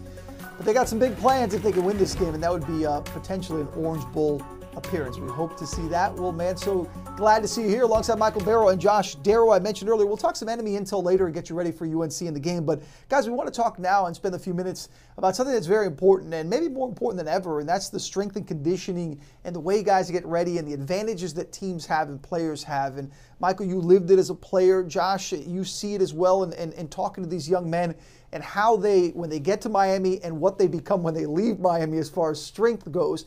And talking to, to, to David Feeley and seeing a bit of what Miami does, what's the key for Miami and what they've tried to develop with their strength and conditioning? Well, I think this year has been unique. Let's, let's, let's talk about kind of every, you know, everything about this year has been unique, and, and certainly it played a part in how David Feeley and Manny Diaz ran the weight room for the University of Miami. And typically, you know, when, when you think of a strength and conditioning coach, it's about grinding their players, right? Grind, grind, grind to kind of build them up. But this year, you know, when the players went away in the spring and the summer, they were all working out on their own. When they all came back, it was very player centric focused. It wasn't really about breaking them down. It was about being very sensitive and aware and keen that they had to build them up, right? They had to kind of manage them back to being the elite athletes that they were so they would not have to deal with any injuries. The phrase that David Feeley and Manny Diaz used was microdosing. You know, they gave them kind of a little bit of intensity, a little bit of volume, mm-hmm. and kind of microdosed the workouts to get the players back to a level where they would feel comfortable, where then they can take on more so that they could perform on the field. It's this a, happened over the summer, yeah. right when they came back. It just happened two weeks ago when, when, when the coronavirus hit the team and, and, games were called off. And Manny Diaz used the phrase, Well, I know you're an NBA guy, but you're also a baseball guy. He said every player has their own pitch count. Yeah. Right. So everyone was managed individually because nobody was on the same path. Some guys were, were cleared to come back and, and work out, some guys weren't. Everything's been staggered this year. Some guys haven't been cleared to the day before a game. So I think this year, having a feel for your players and your team, your mm-hmm. weight room, all of it, right? Really being in touch with your program, really being aware, sensitive to what's going on, that this year is not the same. And I think Manny Diaz and David Feeley deserve a lot of credit for that. It's different, you know. You mentioned, look, this year's a unique challenge. This is not like any other year. And Michael, you, you go back to you played and as a coach at the highest levels, and when you see what strength and conditioning is, you referenced it earlier. For those who didn't see it uh, and hear it earlier, that a Florida State player told you, like, man, you know, about getting tired and being in late in games and those fourth quarter finishing. That does start in the weight room and in the training and the conditioning. As you watch it evolve and change, it is still a significant advantage that the University of Miami tries to take advantage advantage of, I should say. How do they do that? Yeah, I mean, like like like Josh just said, man, they're on top of it. I mean, when you talk about pitch count, because especially during these times with the whole COVID, you got to pause, restart, you got to do this. Yeah. You really don't have a foundational base. Because typically, when I get re- get ready for an NFL season when I play, I mean, it started in uh, right when the season over in February, and I use that time from February all the way up until the season start to build a foundation. Well, now a lot of times you're you're uh, the players now because of the COVID, because of the distance and the stop and start. Mm-hmm. You're trusting the players to get that done. So the relationship with the strength and conditioning coach is like one of the lifelines of the program. He's got to make sure he's communicating, make sure they understand exactly what they need to do to stay prepared and motivate those guys during these tough times. Like Josh mentioned, hey, they just had a three week break in season. That's unheard of, right? But so then now you got to stay in, in football shape during those times, right? You got to fight COVID, you got to fight this and that. And on top of that, and then you still got to be football ready to go. I mean, I, he earned his paycheck today, but that's the thing about. I love what I just heard from Josh and everything that said that they had a plan. Talking to Manny, the biggest thing Manny said that you have to do these times of COVID is be flexible. And the flexibility in that is outstanding. And they did a great job because this is new territory for everybody. But staying flexible during the time is eh, enabling them to be successful. And you seeing the result on the field, and you seeing the result like we talked about early, far as them finishing in the fourth quarter because they're on top of it. I, I, think be flexible is probably a good model for any business, any person, anybody in the year 2020 is you never know what's coming next. Certainly be flexible. We know what's coming next for us, and that is a look at, you know, talk strength, conditioning, nutrition also helps. The University of Miami has a great setup with a nutrition center presented by Gatorade.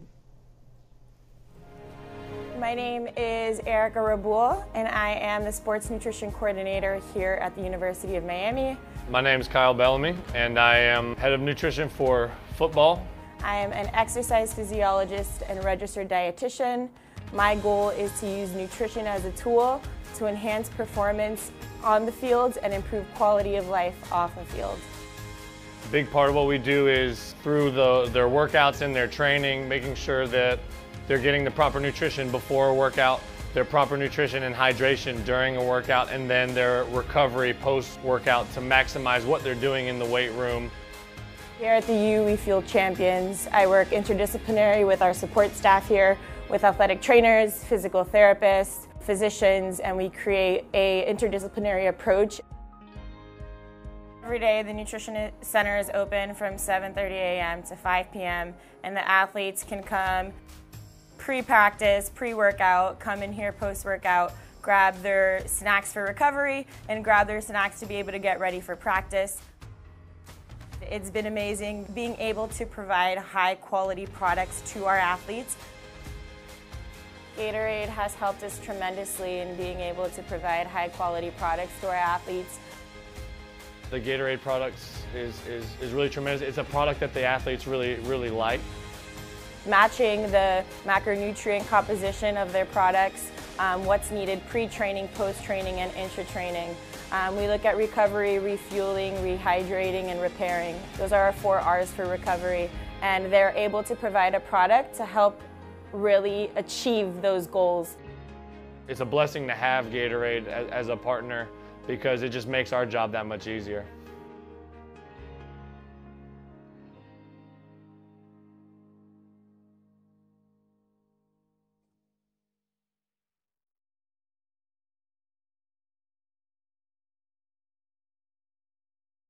The COVID 19 pandemic has created challenges for all of us, but Canes are resilient. Canes are united. As an athletics department, we are facing significant financial challenges related to the pandemic, but we remain committed to our mission of building champions. We stand united in support of our young men and women and launched the Canes United COVID 19 Relief Initiative. Show your support of the Canes by making a gift today at umcanesunited.com.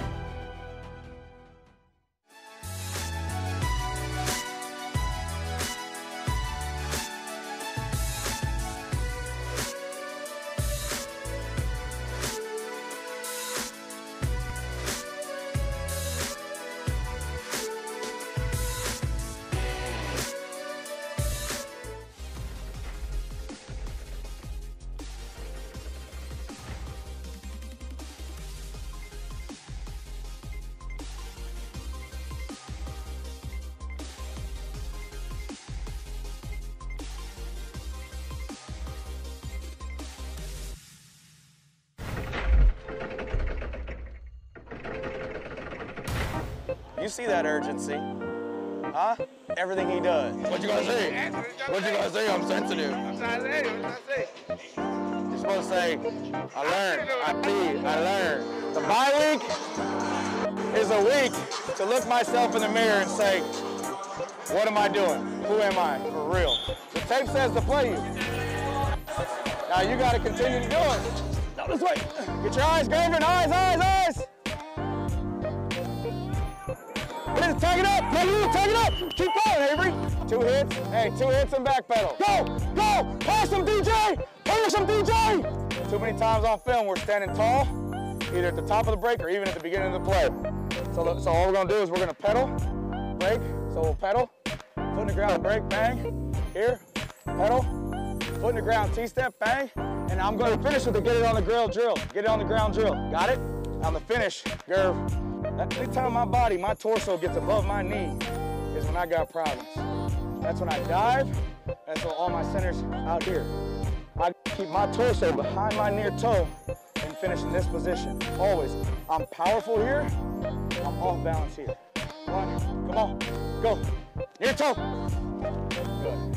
Hey, tuck in a little bit of Mari, again and widen a little bit. Grab it, take this foot and drive it forward. Break back downhill. But Balaam, Balaam, not down the line, at an angle.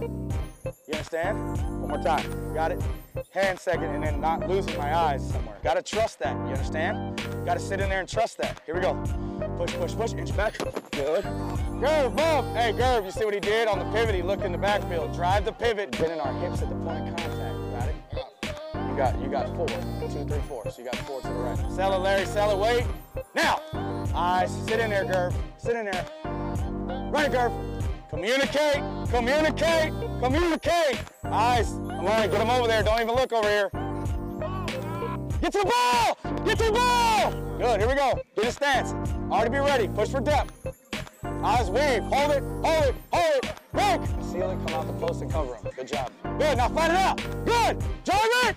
Yes. Had a way to drive. Now look back. Talk with your hands. Stop all the walking around. Talk, get to your spot.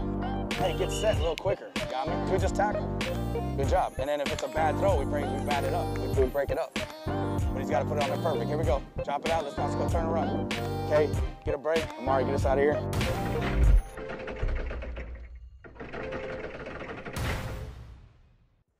As we welcome you back here to Hurricanes Game Day, Will Manso, Josh Barrow, and uh, or Michael. Did I just call you Josh Barrow? well, it only took me six shows. That's right.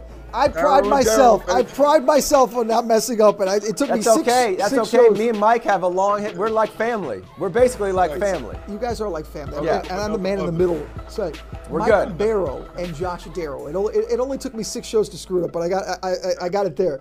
As we welcome back to Hurricanes Game Day, guys, we're going to get into enemy intel in a second. I do want to point out though the unavailability report for Miami released. Thankfully, it's a short list. Unfortunately, it includes Jaylan Knighton, who uh, for Miami, young running back, so talented. Out the remainder of the season, this game and the bowl game with a shoulder injury, it'll give another opportunity for Don Chaney to step up to that role behind Cam Harris. Uh, all right, so let's get to enemy intel. And Josh, you know, when you talk about this game, UNC is a highly thought of team and in the top 20, not for their defense, and we'll talk defense later. It is certainly, though, the offense and what they do. And it's led by a quarterback that I think kind of gets lost in the shuffle of big time quarterbacks in the ACC. Uh, in Sam Howell, what he could do for this offense. Uh, well, if anyone was at the game a year ago, I know Michael was there. I was there. It was. It didn't take a lot uh, to, to watch if Sam Howell was a freshman a year ago to know that, that North Carolina had a special quarterback. We talked about Miami and D'Eriq King having QB one. North Carolina has QB one, and they're, they're, offensively they're special. I mean, they're elite. Uh, they're not elite just when you watch the film. They're elite when you look at the numbers. I mean, Mike talked about it back in the early part of the show. They're, they're over 40 points a game. But how about this? They've had games this year where they've they've not only gone for over 600 yards against Wake Forest, they went for over 700 yards. I mean, they put up yards in a hurry, and they are one of the most explosive teams in the country. And if you just you know just back to what you said about Sam Howell, Will. Only two quarterbacks in their first two years have thrown more touchdown passes than Sam Howell. Their name are Trevor Lawrence and Jameis Winston. That's pretty good category. A pretty good category to be in. And then also, for a true freshman, he has set the FBS record for most touchdown passes thrown. Sam Howell, you talk to the Miami coaches, they just say he's a baller. Look at the numbers there 26 touchdowns, six interceptions.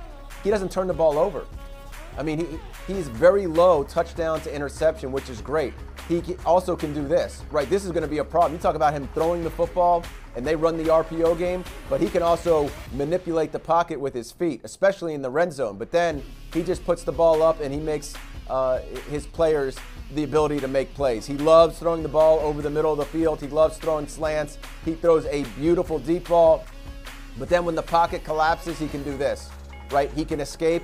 He can elude pressure. He can make plays. He can extend plays. He can buy time. He can let the coverage break down and throw the ball down the field. When he gets into the red zone, he's dangerous as well. But then he does this, right? This is what he's special at throwing the ball down the field uh, to his wide receivers who elite. Sam Howell is a special player. He's one of the best quarterbacks in college football. Forget the ACC. Mm-hmm. He is one of the best quarterbacks in college football, and North Carolina has a very special player at that position. And when you look at who he's throwing to, you mentioned his deep ball ability. Wide receiver, wide when you watch them, Josh, and what they do, he's that's the thing. And we'll get to the running backs in a second, but they've got playmakers. It's not just a QB who makes no. the most out of his talent. It's a QB who has a lot of talent around them. I mean, this is about as good as offense as you're going to get. You put it right up against Clemson. We talked about how good Clemson was. This Carolina's offense is right there. You might even say as a group it could be better. Yeah. Uh, I mean, they have ETN. They got the two running backs that Michael's going to talk about. Those guys are good. And then as a collection, you look at the wide receiver group, it goes four deep. Now, it starts with Dyami Brown and Dazz Newsome. That, you know,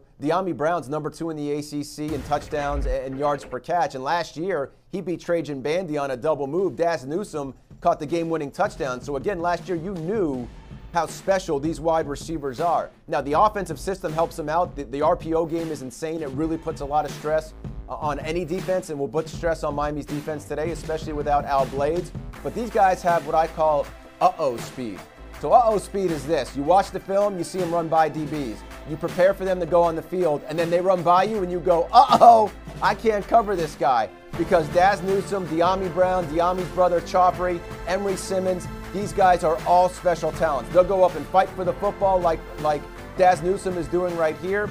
They will make plays in space. They can take a slant and go to the house. They did that against Virginia, as you're going to see right here. They can also uh, take the ball down the field and, and, and, score big touchdowns and make big plays. So this group, a, as a package, is uber talented. I mean, Sam Howell has a bunch of dudes to throw it to, and once they get the ball in their hands, they're doing this. Yeah, I'm and going. So huge, I'm going. Oh, watching these highlights. A huge key for Miami is on. Let, let's say that play right there is that that has to be a 15-yard play and not a 70-yard play. Miami's got to make tackles today against these UNC wide receivers, and they cannot let guys run open in space. But but when you watch the film uh, of North Carolina as we got ready for this game, and I know Michael saw it with the receivers, and he's going to talk about it with the running backs as well. These guys are really, really good. I mean, really, really good. They're fun to watch in terms of preparation. Obviously, if I'm Blake Baker, it's some late nights in the office. Uh, but as a group, between Howell, the receivers, and, and Michael's going to mention the running backs, uh, some of the best in all, in all the land. This is a super talented group, and they're highly explosive. Michael, I'll send it to you with those backs because it's one thing. Uh, oftentimes, you have a good offense. At least you could say, okay, they're one dimensional. Their quarterback's very right. good. Their wide receivers are very good, and you attack that, and you don't have to worry about the ground game. But they've got a one-two punch at running back that's significant enough. This is a diverse offense. This isn't just a one, you know, tri- you know, one uh, one element of it that you've got to concentrate on. Right. Just one thing. They've got everything. And when you look at the running backs, how much more of a challenge does it make it? That's what I'm saying. And, and this running back position, man, this dynamic duel they got at the running back is the key to victory for this game, right? And the losses that you see, man, uh, two of the two of the three losses because they didn't rush over 100 yards. When they're running the ball well, man, they're hard to stop. And these running backs is arguably like the two best backs in the country, man. I call them I call them mashed potatoes and gravy, right? number 20, number 25 Williams, man. He is a grown man. All right, he's a grown man. You can't bring paper plates when you try to tackle this dude, man. He gets it done, man. He moves the chains right. He's the only guy right now in college football that has over 900 yards rushing and 300 yards receiving. Right? That's how dynamic they are. They're just not one trick pony, right? They get it done, man. And look at him, man. This is what I'm talking about. When I call him Master Tate, because when you try to attack him, he smash your he smash your head to the ground, right? Look at that stiff arm. He's 5'10, 225 pounds, and you see this a lot. He leads the nation in broken tackles with 63, and he gets it done. He's and he also second in the nation with 19 touchdowns, 16 16 touchdowns rushing, and three receptions. So, and then you you sleep on the power where you think, okay, he's about to run you over. He's got the speed to take it to the house. So we're gonna have our hands full. And then now, number eight, hey, he's gravy, man. He's lightning in a bottle. A bottle Michael Carter. Look at him, man. You better pick up the jock strap, right? Because right now he got the juke move and he can take it to the house. He could score anywhere on the field, and he's also a double threat, not only running ball, but out of the backfield catching the ball. So definitely, man, this is a big challenge for us. And like I said earlier, one of the keys to this game is that we got to stop the run and we got to tackle these dudes and we got to make it physical and we got to make it one dimensional because this is a balanced offense and they get it done. It's the reason why they're the number one uh, uh, yardage offense in the ACC and one of the top offenses in the nation. And those two guys I mentioned, man, yeah. oh, that dynamic duel, they're a big part of their success. Michael, I'm glad you mentioned that. You both hit on, on how dynamic they are. When you say make them one-dimensional, though, uh, is it is it the ground game that you look to stop first, or is it the pass game you look to stop first? Does it always does it always start with slowing down the ground game when you're trying to stop a dynamic offense? Well, when you look at Notre Dame, Notre Dame gave us a blueprint on how to stop them. They they stopped they stopped the run. They limited on a run, limited on 58 yards. Second half of the uh, of the uh, for the second half of the game, right?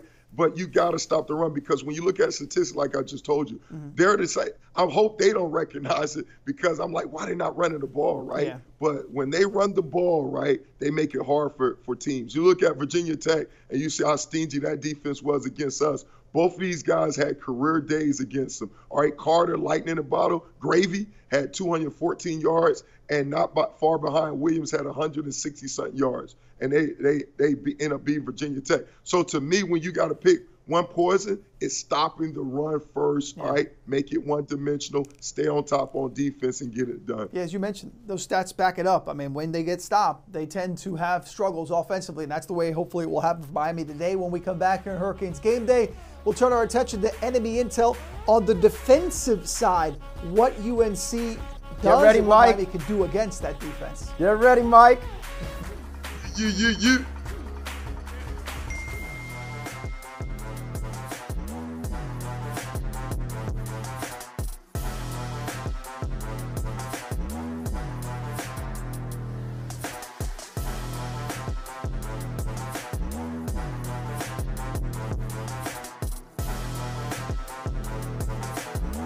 Download the new Miami Hurricanes app today for the ultimate Canes fan experience. As one of the more than 1,200 physicians on the University of Miami Health System team, I want to welcome you. Our facilities are open. And we're ready to care for you. Our commitment to your health is unwavering. And we have implemented many new guidelines to keep you safe. We are ready to care for you. In our facilities or virtually, wherever you are. We're ready. And we look forward to caring for you. See a specialist today in person or virtually.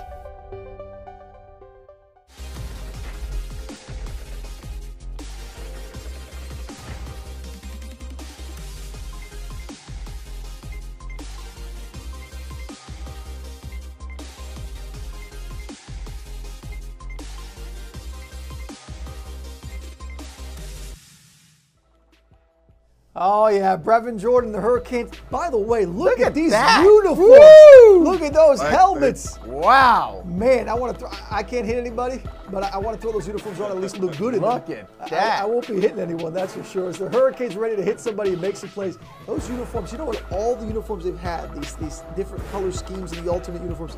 These might be my favorite, guys. Those are nice. That is a sharp, those sharp. Sweet. Yeah, very, very nice. And they'll look better in a victory. And hopefully they oh, get oh, yeah. it against UNC. Will Manso Michael Barrow and Josh Darrow getting you ready here on Hurricanes game day. We just heard the enemy intel, the offensive side of the ball. And look, we can fill 25 minutes talking about UNC's offense because it's that good, that dynamic. But Michael, when you look at their defense, That's where if you're Miami, not this isn't to, to disparage and say that they're not a good defense, but they're certainly a defense that you can right. take advantage of at times. So the overview defensively when you look at UNC is what?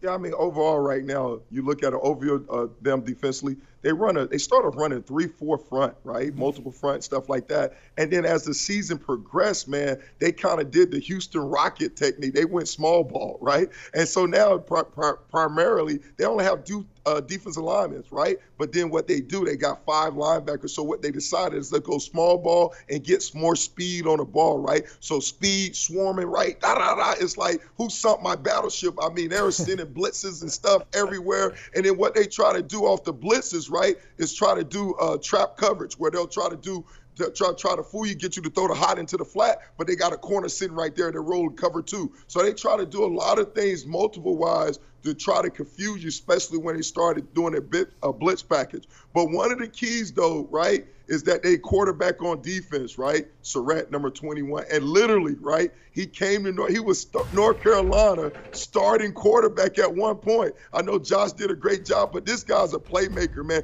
He made the transition last year uh, the, uh, from quarterback to defense, and what he did, he ended up being all ACC uh, linebacker, right? And then this year, he's a semi Butkus finalist, right? So this guy's a playmaker. He's always, always around the ball. He leads the team in tackle as well as sacks with six ta- six sacks for the season. And they use him a lot, man. They send him great feel for the ball, great uh, uh, tenacity, getting to the ball, hunger, man. This guy is definitely the quarterback of the defense as, as he go that's how their defense go. They try to do a lot of different packages, try to use them in a lot of different ways, man. But this guy's clearly right the heartbeat of this defense.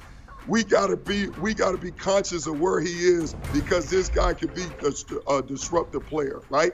And then also the other thing, he's got help, man, with their front seven, right? I already told you they like to do a lot of things up front, like do a lot of line stance and stuff like that. So, like I said, it's like who sunk my battleship, and he's got a partner in crime, uh, number 44, Gilman. He gets it done right here, blitzing. He's a great middle linebacker. But then up front, right, they got the Fox brothers, number 12, outside linebacker. He's second on the team in tackles with 5.5, and then he's got a younger brother who's really bigger than him, number 56. It's don't get nervous. It's not Lawrence Taylor, but it's Fox too, man. And they get it done, man. These guys, man, they're relentless. Hey, they swarm to the ball. They try to create habits, right? But because they're so aggressive, right, it's going to give us some opportunity to hit them over top and make something happen. They're prone to give up the big plays, but we got to protect our quarterback to have some success. We got to win up front with the line of scrimmage. That front seven so important, uh, and you got to take advantage of that again on offense for Miami of that defense at some point in this game. And, and you would think it also means, Josh, taking shots for Miami's offense, taking some shots downfield, working that middle to back of the field. Uh, UNC's defensive backs, when you look at what the resistance they provide there what they do, what do you see, Josh, when you watch the video? Well, Mike mentioned there's going to be some opportunities for Miami to make some plays. I think not only in the passing game, actually, I think there's going to be opportunities for them to make plays in the running game, in part because of North Carolina's secondary. You'll see them with five defensive backs on the field at times. They'll definitely mix up their coverages. They play a good, they play a decent amount of man. So again, we've talked about the emergence of Miami's wide receivers. They're going to have to continue to be playing at the high level we have seen them play at over the last four games. North Carolina's secondary, I think the first thing that jumps out about them is that they're young. Mm-hmm. It's a lot of freshmen and sophomores back there, but they will lay the wood, they will hit, they, you know, you talk to the coaching staff. They've got some good length back there. They got some good size. They, they play very physical. They're very aggressive. So they're they have some building blocks uh, back there on the back end of the secondary. I mean, they got a kid Tony Grimes who shouldn't even be playing college football. He's a freshman quarterback that's playing high ACC football. He reclassified a year early to get to get onto campus and start playing. So uh, they've definitely got some guys back there that can play football. They will they will definitely uh, jump routes. They definitely are aggressive trying uh, to play the football. But at the same time, if you're the University of Miami, as Michael alluded to, they've got to make plays in the passing game. Uh, do the Hurricanes today, which means Mike Harley, you know, his boy D. Willie, the Pope, Mark Pope, even the, the tight ends. I think the thing we saw a week ago, having Brevin Jordan teamed with Will Mallory is huge uh, for the University of Miami. And I think there's going to, you, you've seen opposing teams hurt North Carolina in the middle of the field. But here's where I think Miami can also have success with North Carolina's secondary. They play, uh, they take some bad angles, play with bad leverage. They let plays either bounce to the outside or cut back. You see Virginia Tech here. Herbert was able to take one to the house. I think Cam Harris, Don Chaney, and even D'Eriq King in the quarterback run game are going to have opportunities. And then the 50 50 balls down the field. Uh, there are going to be opportunities for Miami uh, to make plays in the deep passing game. North Carolina also likes to blitz their cornerbacks. They'll bring quarterbacks off the edge. So if D'Eriq King is reading it right, uh, he should be able to find some open guys, and that should create opportunities for the University of Miami today. Opportunities will be there. Miami has to take advantage of it. We will see if they do. We'll continue to get you ready for the Hurricanes and UNC. What's next? You know what we got? Are you getting it out? that's what I think is next. Yeah! Yeah! Michael Barrow's got his keys to the game coming your way. But as we go to break here, Hurricanes game day, how about a little hometown hero?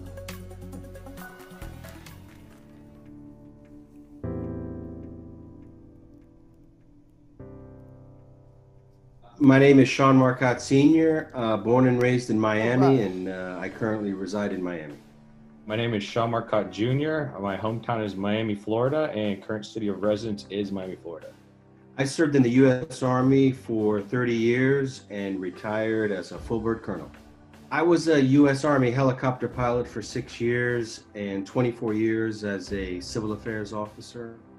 I served in the Middle East, Korea, and all throughout South America. I served in the U.S. Army as well. Uh, my length of service was eight years and retiring specialist. I worked as an all source intelligence analyst. I was based out of U.S. Southern Command here in Miami, Florida.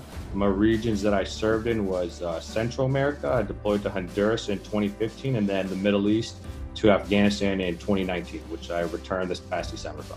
So my fondest memories are uh, the moments where my family was around me, from when my dad pinned my airborne wings to seeing my family at my retirement ceremony at US Southcom, going to my son's basic training and military intel uh, graduation ceremonies. I'm again thrilled that the U recognizes service members and thank you to the administration for, for supporting this, this program. With any luck, we can inspire young men and women, maybe some who are watching today, to consider answering the call of duty. That's something really special. Go, go Canes, go, go, Army, and go, go USA. This year, the game plan is different. Hard Rock Stadium won't have all 65,000 of you bringing each game to life. But that can't stop you from making your presence as a Canes fan known. The Miami Hurricanes team store has everything you need for football in 2020. Find Canes apparel to wear for men, women, and kids. Represent the U wherever you are this football season. Shop now at shopmiamihurricanes.com.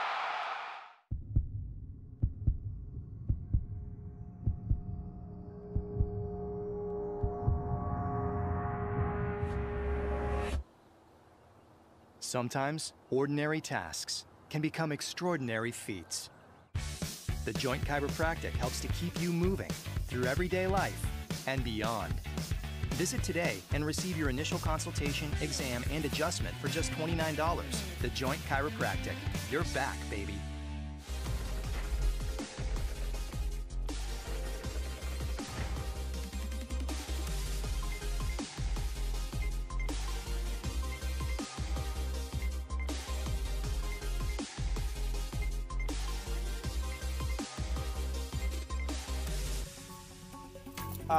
Know when I hear Getting the rattle of the keys, I'm that getting we're- I know with the rattle of the keys, we are getting close to game time. The Hurricanes and the Tar Heels. Hurricanes game day, getting you ready for that. And yes, ready, Josh? It's time for your BMW keys to the game. Brought Let's to you go, by! South Florida BMW Centers. And uh, let's center in on Michael Barrow. Uh, his keys to the game. Michael, when you think, okay, how does Miami beat this very talented UNC team in a very important game at Hard Rock? What's key number one? Hey man, I'm taking it. I'm taking it to underneath the tree where we used to play chess, man. The first, the first thing we got to do is check, checkmate. And what I mean by that, man, hey, once we stop the run, man, we got to get out the sand. We got to sack him. In the games that they're lost, the three games that they're lost, right? They're giving up 29 sacks the whole season. In the three games that they lost, they gave up 15 sacks. We got to get to him to stop him, that explosive offense. And then also, we got to protect our king. All right, Seattle got the slogan, let Russ cook we got to let King grill, right? We got to protect him, man, because we understand when you give him protection that he's deadly, he get it done. So obviously, offensive line, we got to get that done. All right, the next key number two is dynamite, and what I mean by that, I used to watch this show called Good Time, oh, yeah. and they had a character named JJ. So anytime he did something, he was like dynamite, right? And so we got to be dynamite, right, in explosive game, right? Just like Josh mentioned, right? North Carolina defense, all right, they're giving up 23 explosive passes over 30 yards or more this whole season. We got to take advantage of that, all right? And then also defensively, though, we got to stay on top. This team, right? They like to, they love to do a lot of double moves with the receiver. They want to take it over top. All right, they, they don't want to settle for the quick pass, the RPO. No, they want to set you up, right? throw the ball over top. We got to do a great job eliminate eliminating explosive pass plays and get it done. And then last thing, we got to be physical, physical, physical. Yeah, yeah, yeah, yeah, yeah. All right, hey, this this ain't track.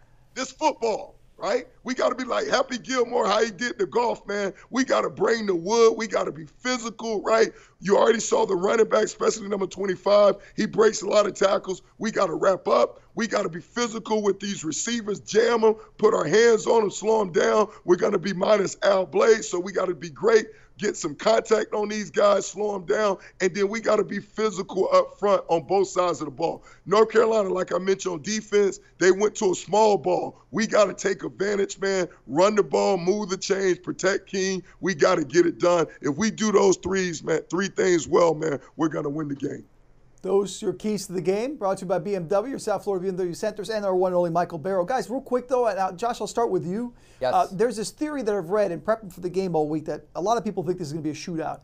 Is that advantage Miami or advantage UNC if this game turns out to be a shootout? Well, I think the good news for Miami, we've seen it this year, uh, that Miami can hang with North Carolina, right? We saw them against NC State put up 44 points. A week ago, they scored, you know, 48. They put a bunch of points up on Louisville and Florida State. I think the one thing I you know I don't know exactly how the game w- w- will fare. I'm not one into making predictions, but if I was to put uh, if I was to I guess uh, move some money to the middle of the table, I would bet on our defense. Yeah. If I was if I was going to say their defense stops our offense or our defense stops their offense, I'm betting on our defense has a better chance of stopping their offense than the other way around when you just break it down. Because the one thing we, have talked a lot about North Carolina's offense and all the good stuff, mm-hmm. but the weak link is the offensive line. And I think one way to slow down this offense, whether it's run or pass, is our defensive line, as Mike likes to say, they got to eat. Our defensive line has to eat, and I think they can. Teams have gotten to Sam Howell. Now, he's not easy to get down, we talked about he's a playmaker in the pocket. But we talked about Jaelan Phillips earlier, Quincy Roche,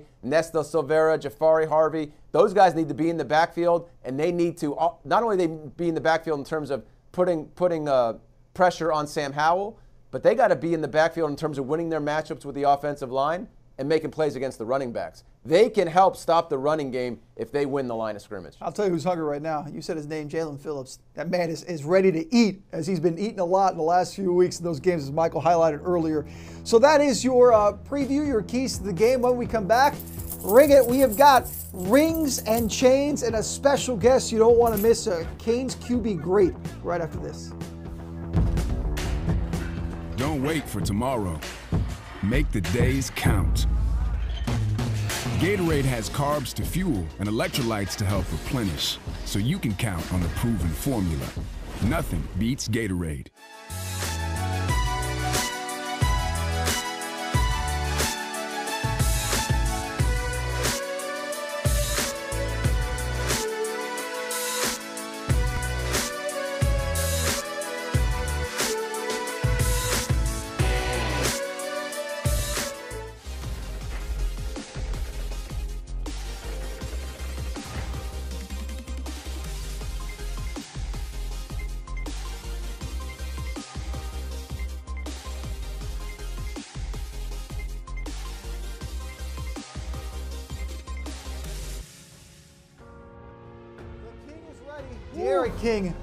Part of the long legacy of some great Miami quarterbacks, and he is certainly one of the more talented ones Miami has seen in a long time. He's looking sleek in those nice uniforms today. He is ready to get it done on senior day and a huge day inside Hard Rock Stadium against UNC. D'Eriq King will hope to continue the great tear he has been on, and the Hurricanes have been on as well at 8 and 1 right now. Will Manso, Michael Barrow, and Josh Darrow as we turn our attention now to rings or chains. And I mentioned the great tradition of Miami quarterbacks. You saw D'Eriq now part of that tradition with the season he's having, but certainly a guy that was part of the early beginning of that tradition, and that is Steve Walsh. Such a great Cane, national champ, joining us now here. Hey, Steve, it's great to see you. We appreciate you joining us here on Hurricanes Game Day. Uh, we see the numbers there 87 national champ, 48 touchdowns in a career. And I, the question we always ask former players when they're on is, how, how are things for you these days? I know it's been a crazy year. How are you doing? Hopefully safe, family safe. Uh, but what have you been up to these days? Yeah, where I'm, I'm hiding out in West Palm Beach, and I tell you what, I've never I never looked so good. Those black jerseys are pretty sharp. I wish uh, wish we'd have had some of those those, those things in the in the 80s. But uh, you know, we, we, did all right in our our, our, our orange and white. So, yeah. but uh, no, I've, I've, been in West Palm. I, I'm coaching up in the CFL, and you know, our season got canceled, and I guess it was August they finally pulled the plug on it, and so we've just been been hanging out and doing Zoom meetings with our other coaches, and and uh, just trying to get through this mess. Steve, what's up, my friend? do you think you'd look good in that black uniform? I don't know, man. How, how do I think that would look on you? Well, I mean, it wouldn't make me any, look any slower. yeah, you, you don't you and D'Eriq King don't quite have, have the same game uh, ball game, but uh, they, they flashed the numbers that you know the, the 87 champs and one of the, the iconic plays of that season. One of the iconic plays that everyone talks about is your throw to Michael Irvin up up in Tallahassee. Maybe you could walk us down memory lane and you know in the huddle, the play call, uh, what you were seeing, and, and just that moment. Well, I mean, first I got to ask you which one. so, I mean, we, we had a couple going down the stretch there. One was uh, just a cover zeros, you know, blitz that, that we hit over the top of them. But the the one that everybody talks about for the most part is the one down the sideline yep. that, that put us ahead. And and you know, it was something that Michael was so physical and so good getting around press coverage or a jam because they were in a cover two shell. And you know, I, I think we called a, a little audible because I wanted to get them up the sideline, and I felt like I could freeze their safety and slip the ball in there with my little pop gun shooter arm and uh, put it put it right there, and, and then Michael did the rest like he did so many times. Hey, what's up, Steve? Man, how you doing, buddy? Hey, Michael, good to talk to you again. Uh, likewise, man. Hey, talk about D'Eriq King, man. What from being a quarterback, man? Uh, talk about his play. What what have you seen from your from your angle? Well, you know, obviously nobody could have predicted the season that they've had, but I, I do know this: when they signed him, I, I knew this, sort of player he was at Houston and the production that he had. And to me, it gave them another very athletic quarterback that could throw the ball. And, and I said this on another show uh, earlier in the season. As a quarterback coach, you don't want a runner who can throw. You want a thrower who can run. And that's what D'Eriq King has shown this year. And he's made a lot of plays with his arms as well as his legs and just gives them a lot of versatility. And, and Rhett Lashlee's been able to utilize that and, and, coming up with creative game plans to really put the defense in a bind and allow them to to put up a ton of points this year and a lot of yards, know, really flipping the switch from last year.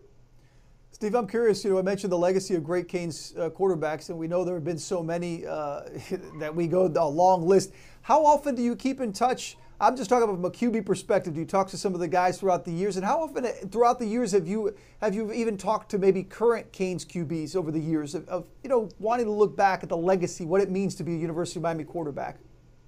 Yeah, well, as my coaching career has professed into you know professional level at the CFL level, um, you know obviously we're, we're busy during the fall and it, it makes it a little more difficult. But over the years, starting with you know probably Ken Dorsey, you know I did spend a lot of time with with Kenny and and talking to him and and then as it went uh, down the road and I, I can't name them all but yeah. you know I did try to stay in touch and then it's kind of fallen off the last couple of years because as I said I've been more busy with with my profession and coaching. I can imagine, but certainly a long list of uh, great Canes quarterbacks. All right, Steve. Now we always love to catch up, but this segment is called Rings or Chains. I, I hope that you've been you've been told what it is. So we got the rings, right? The the the touchdown rings, and then you got the turnover chain. So it's basically an offense or defense kind of question prediction. So let's get to question one and see what you think.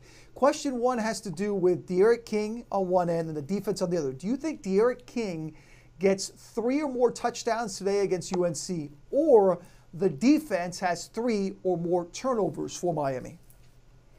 Yeah, I think it's it's easily. I don't know if I say rings here or what, but uh, I think it's going to be a game where D'Eriq King has to be productive, and uh, three touchdowns are well within his reach. And, and you know, North Carolina, they don't turn the ball over. Sam Howell does not throw. You know, you see the stat there, does not throw a lot of touchdowns. So it's it's definitely the rings, I guess, is the way yeah. I'm supposed to answer. Yeah, yeah, that's, that's it. You got it. You got it. You, you got onto Very it. Very astute, Steve. You're always uh, high, high, high football IQ. Oh, you, you know up on this. Offensive guy. You got. Well, listen. It's funny, Steve. The way it's worked out. Whenever we have a defensive guy on, he always goes defensive. When we have an offensive yeah. guy, he always goes offense.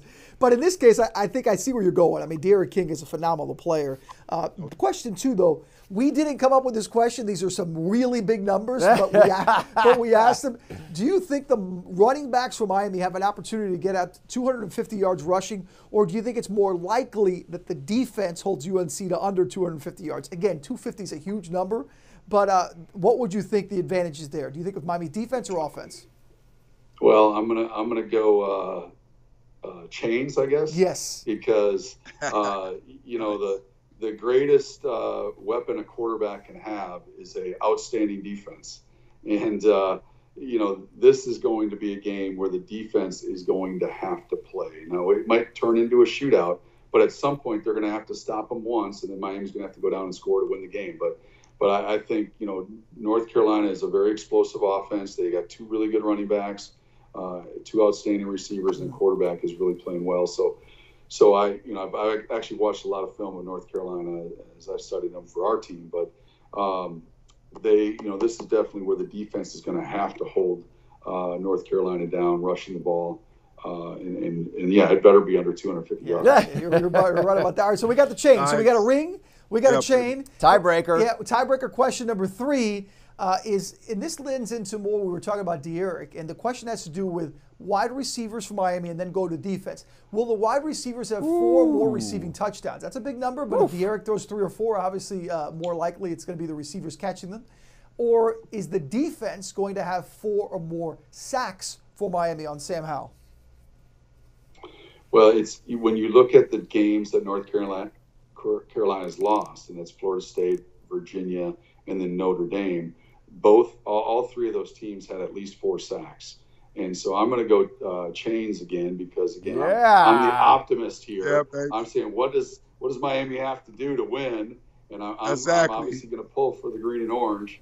And uh, so yeah, the, the, defensive line has to play outstanding tonight uh, or today mm-hmm. to, for them to win. And, and, then the flip side of that question is, you know, with the two tight ends that they have, yeah. with what they do in the running game, I think it's easy for maybe the receivers only have a couple, but those tight ends get a couple touchdowns as well. So, uh, you know, it's gonna it's gonna have to be a, a collective group offensively for Miami uh, to put the points that I think they're going to need to score. Uh, but the bottom line is this game is going to be won and lost uh, with that defensive line. Can they get after this quarterback? Because he's not going to quit. He's going to get his yards, but Miami's going to have to get them in enough negative plays with sacks uh, to to get off the field. That is your rings. Well, he should. Wait, we should have. He could, Steve could have done the whole show with us. Hey, he, he got it all broken down. I like Michael. I like your keys, baby. I like yours. You got some, yeah, you, you, got all you the just, numbers.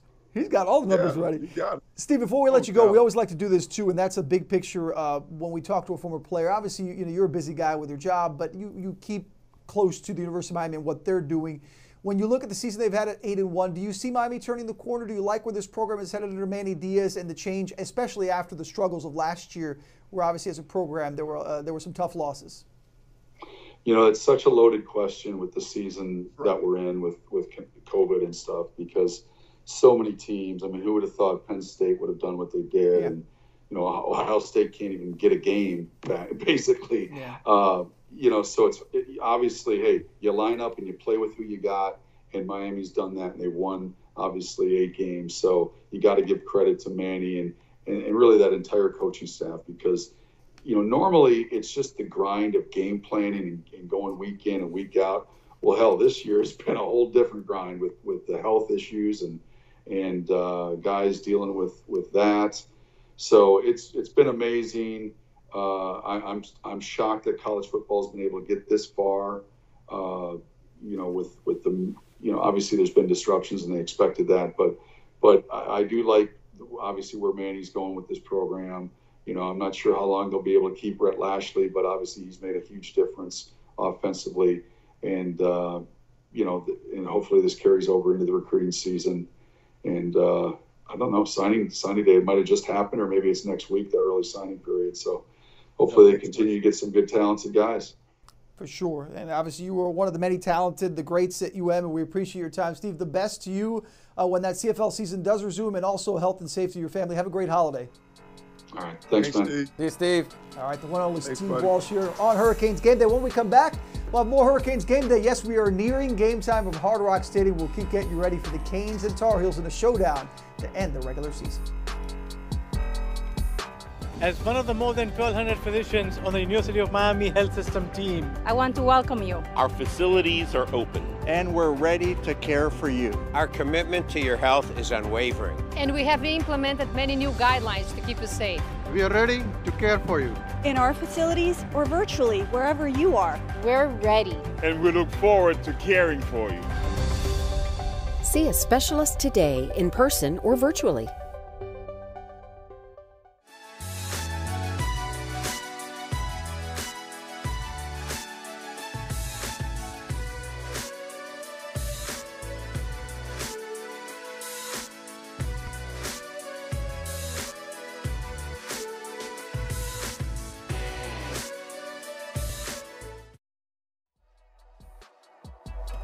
Yes, senior day, such a significant part for the University of Miami, their program, and the families there. D'Eriq King getting all the love. His one season as Miami so impactful. We talked about it earlier in the show. D'Eriq, you can keep on running that way. I know you're going to have an NFL dream, but you can come on back too if you want for another year. we'll let you celebrate senior One year again. more year. One more year's One fine with that. Come on. man, so Come on. Michael Come Barrow. Josh Darrow. Yeah, we're the cheerleaders. And listen, whatever that young man does, he's got a great future ahead. Uh, and it's certainly been fun to watch him here at the University of Miami. Guys, we're going to talk more about today's game and kind of put the finishing touches on Hurricanes game day in a moment. But let's talk about how about the fact of how good we look in our return together. You notice that? Oh, how good we look. See that? How good we look. And, and that is because thank you to the UM campus store for this quarter zip up. You see here, it's part of the new Adidas postseason collection. It's available online at shopuofmiami.com or you can go in store at the lovely UM campus store uh, located on this beautiful University of Miami campus in Coral Gables. What do you think, guys? This is a comfy fit. I like it. They took care of us today. They, they really did. Look at the gold. We over, over here, gold. Gold Hey, Adidas logo. that? I like it. It's the postseason The look. turnover chain. It turn, yeah, that's what the uh, quarter zipper. If you want to bring the chain, you can do it like that and open it up with the chain. If you want to, if it's a little cold, Michael, here in Florida, you know how it is. It gets cold. It was like 65 this week, so we were all bundled up, you know, covered parka on in this weather. But that is your item of the game, and again, check it out at uh, shopuofmiami.com or in store at the UM campus store on the lovely University of Miami campus. Guys, uh, we talked a little about the seniors, but Michael, I want to give you an opportunity as well to, to get into that because when we discussed it, we kind of had to get through it quickly and preview the game. But now, when you look at the impact of these seniors and what it means to know you're taking that field for the last time, wearing that jersey at Hard Rock for the last time, your family's there. I know it's been a unique year given everything that's happened, but what does it mean, Senior Day, when you think of that? I mean, it's an emotional time. I mean, obviously, like Steve alluded to, they've been through a lot with this whole COVID, and it uh, uh, it's been non-traditional, right? Yeah. It's not nobody planned this, nobody expected to be this way. But I think from a team wise, right, it, it all can come together, right? They take care of business today. They can finish strong. You know, this senior group, man, if they've been here for, or regardless, you've been here four or five years, or you just got here one year, all right, it's a special season this year, especially with all the stuff that you've been been through. It's like you've been in a foxhole you've been fighting through this, and you've been a fighting opponent that that right now we currently can't defeat, right? And so then all hands been on deck, and so this is spirit special experience. So then when guys experience this and they go through this together, these are memories that they're building for a lifetime. So anyway, when you talk about UM, I mean, you come there the senior year, man uh, you get ready to play, you're like, man, let's finish strong. Let's do something special. You want to go out with a bang, and I and I think right now, especially with the black unis and all this, potentially can have a six-game winning streak. They want to finish the season strong, and then even the younger guys, they're like, hey man, hey, let's win this for our older guys. Let's win this for our seniors. So it's very emotional, man. Some guys can move on to the NFL. Some guys, man, this may be the last time they play uh, football. So you want to make it make it last. You want it to be special, man. You definitely want to make it a Kodak moment. Yeah, you want to remember it with that victory, and what it would mean. We've already talked about the big uh, picture right. landscape of it. But Josh, for you, when you look at this, look, we spent a whole segment talking about the job Manny Diaz has done. But what about the job these players have done? you know, to overcome the weekly challenges and not knowing who's going to suit up or who's going to what you're going to do and who's going to run at practice and how are you even going to practice. To be able to get to this point at eight and one is pretty significant. 100%. And we talked about it earlier that, you know, nothing's been normal about this season and it kind of caught up with Miami later in the season than earlier. Uh, but, you know, there was so, there's a, as Steve Walsh just talked about, right? There's so much, there's so much uh, that's put on uh, either the staff or the players' plate each and every week to get ready for a game.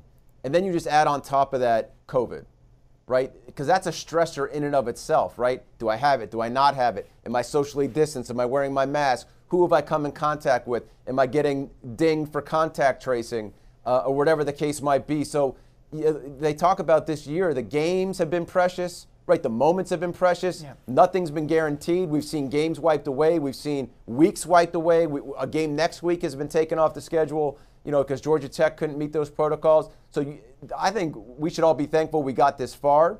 We should be thankful that hopefully there's going to be a, a big time bowl game down the road. But but you look at it, you know, what was one of the big concerns – you know, when COVID hit, when you look, I'm, I'm a husband, I'm a father, I've got two kids. You guys do too, right? It was always the younger generation. They'd be a little more maybe risque or not following protocols, and yet these players have had to put have had to put themselves really and their team and everyone in, in front of themselves because without it there is no football. Yep. And, and, and Michael knows this.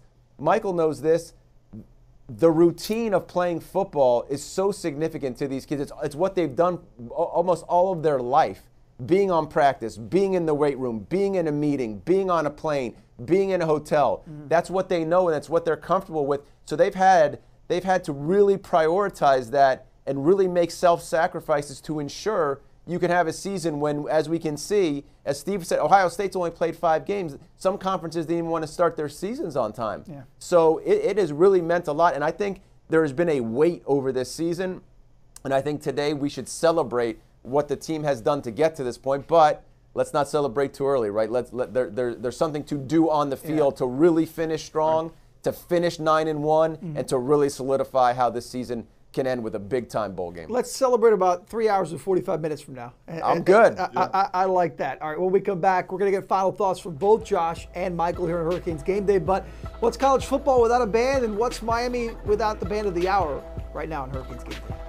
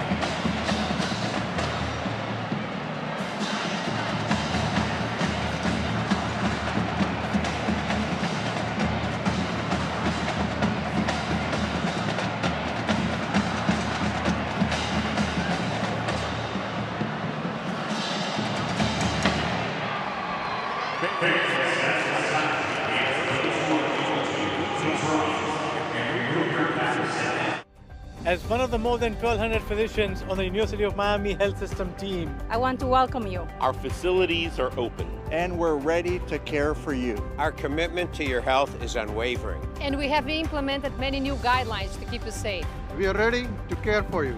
In our facilities or virtually, wherever you are. We're ready. And we look forward to caring for you. See a specialist today in person or virtually.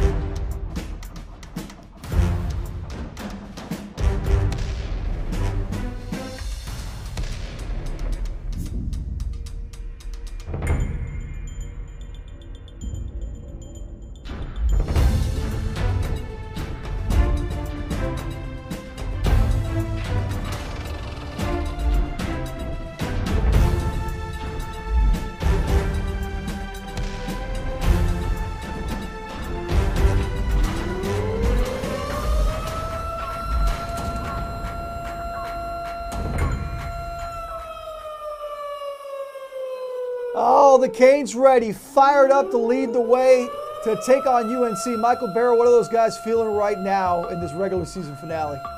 Hey man, they ready. A lot of emotions going through their mind, man. They ready to get on that field, man. Finish up strong. Let's go, baby. We got those Canes over here. They looking sweet. We started the season. season. 'em. We started the season. Remember, we had the smoke. We had the smoke, Josh, for Michael. It was Lysol, oh, but whatever. Kind of the theme of the year. But now, now we get the real smoke one Man, last we are time. we are finishing in style, boy. Look at those uniforms, boy. Those oh. unis are looking tight. I'm not a big jersey guy, but I may have to rock one of those jerseys. Nesta That- looks that- nasty. That, that- these guys, look at Manny. Manny's trying to get that, that group going on what is senior day. We talked all show long the implication, guys. Canes win this game, they're likely in the Orange Bowl.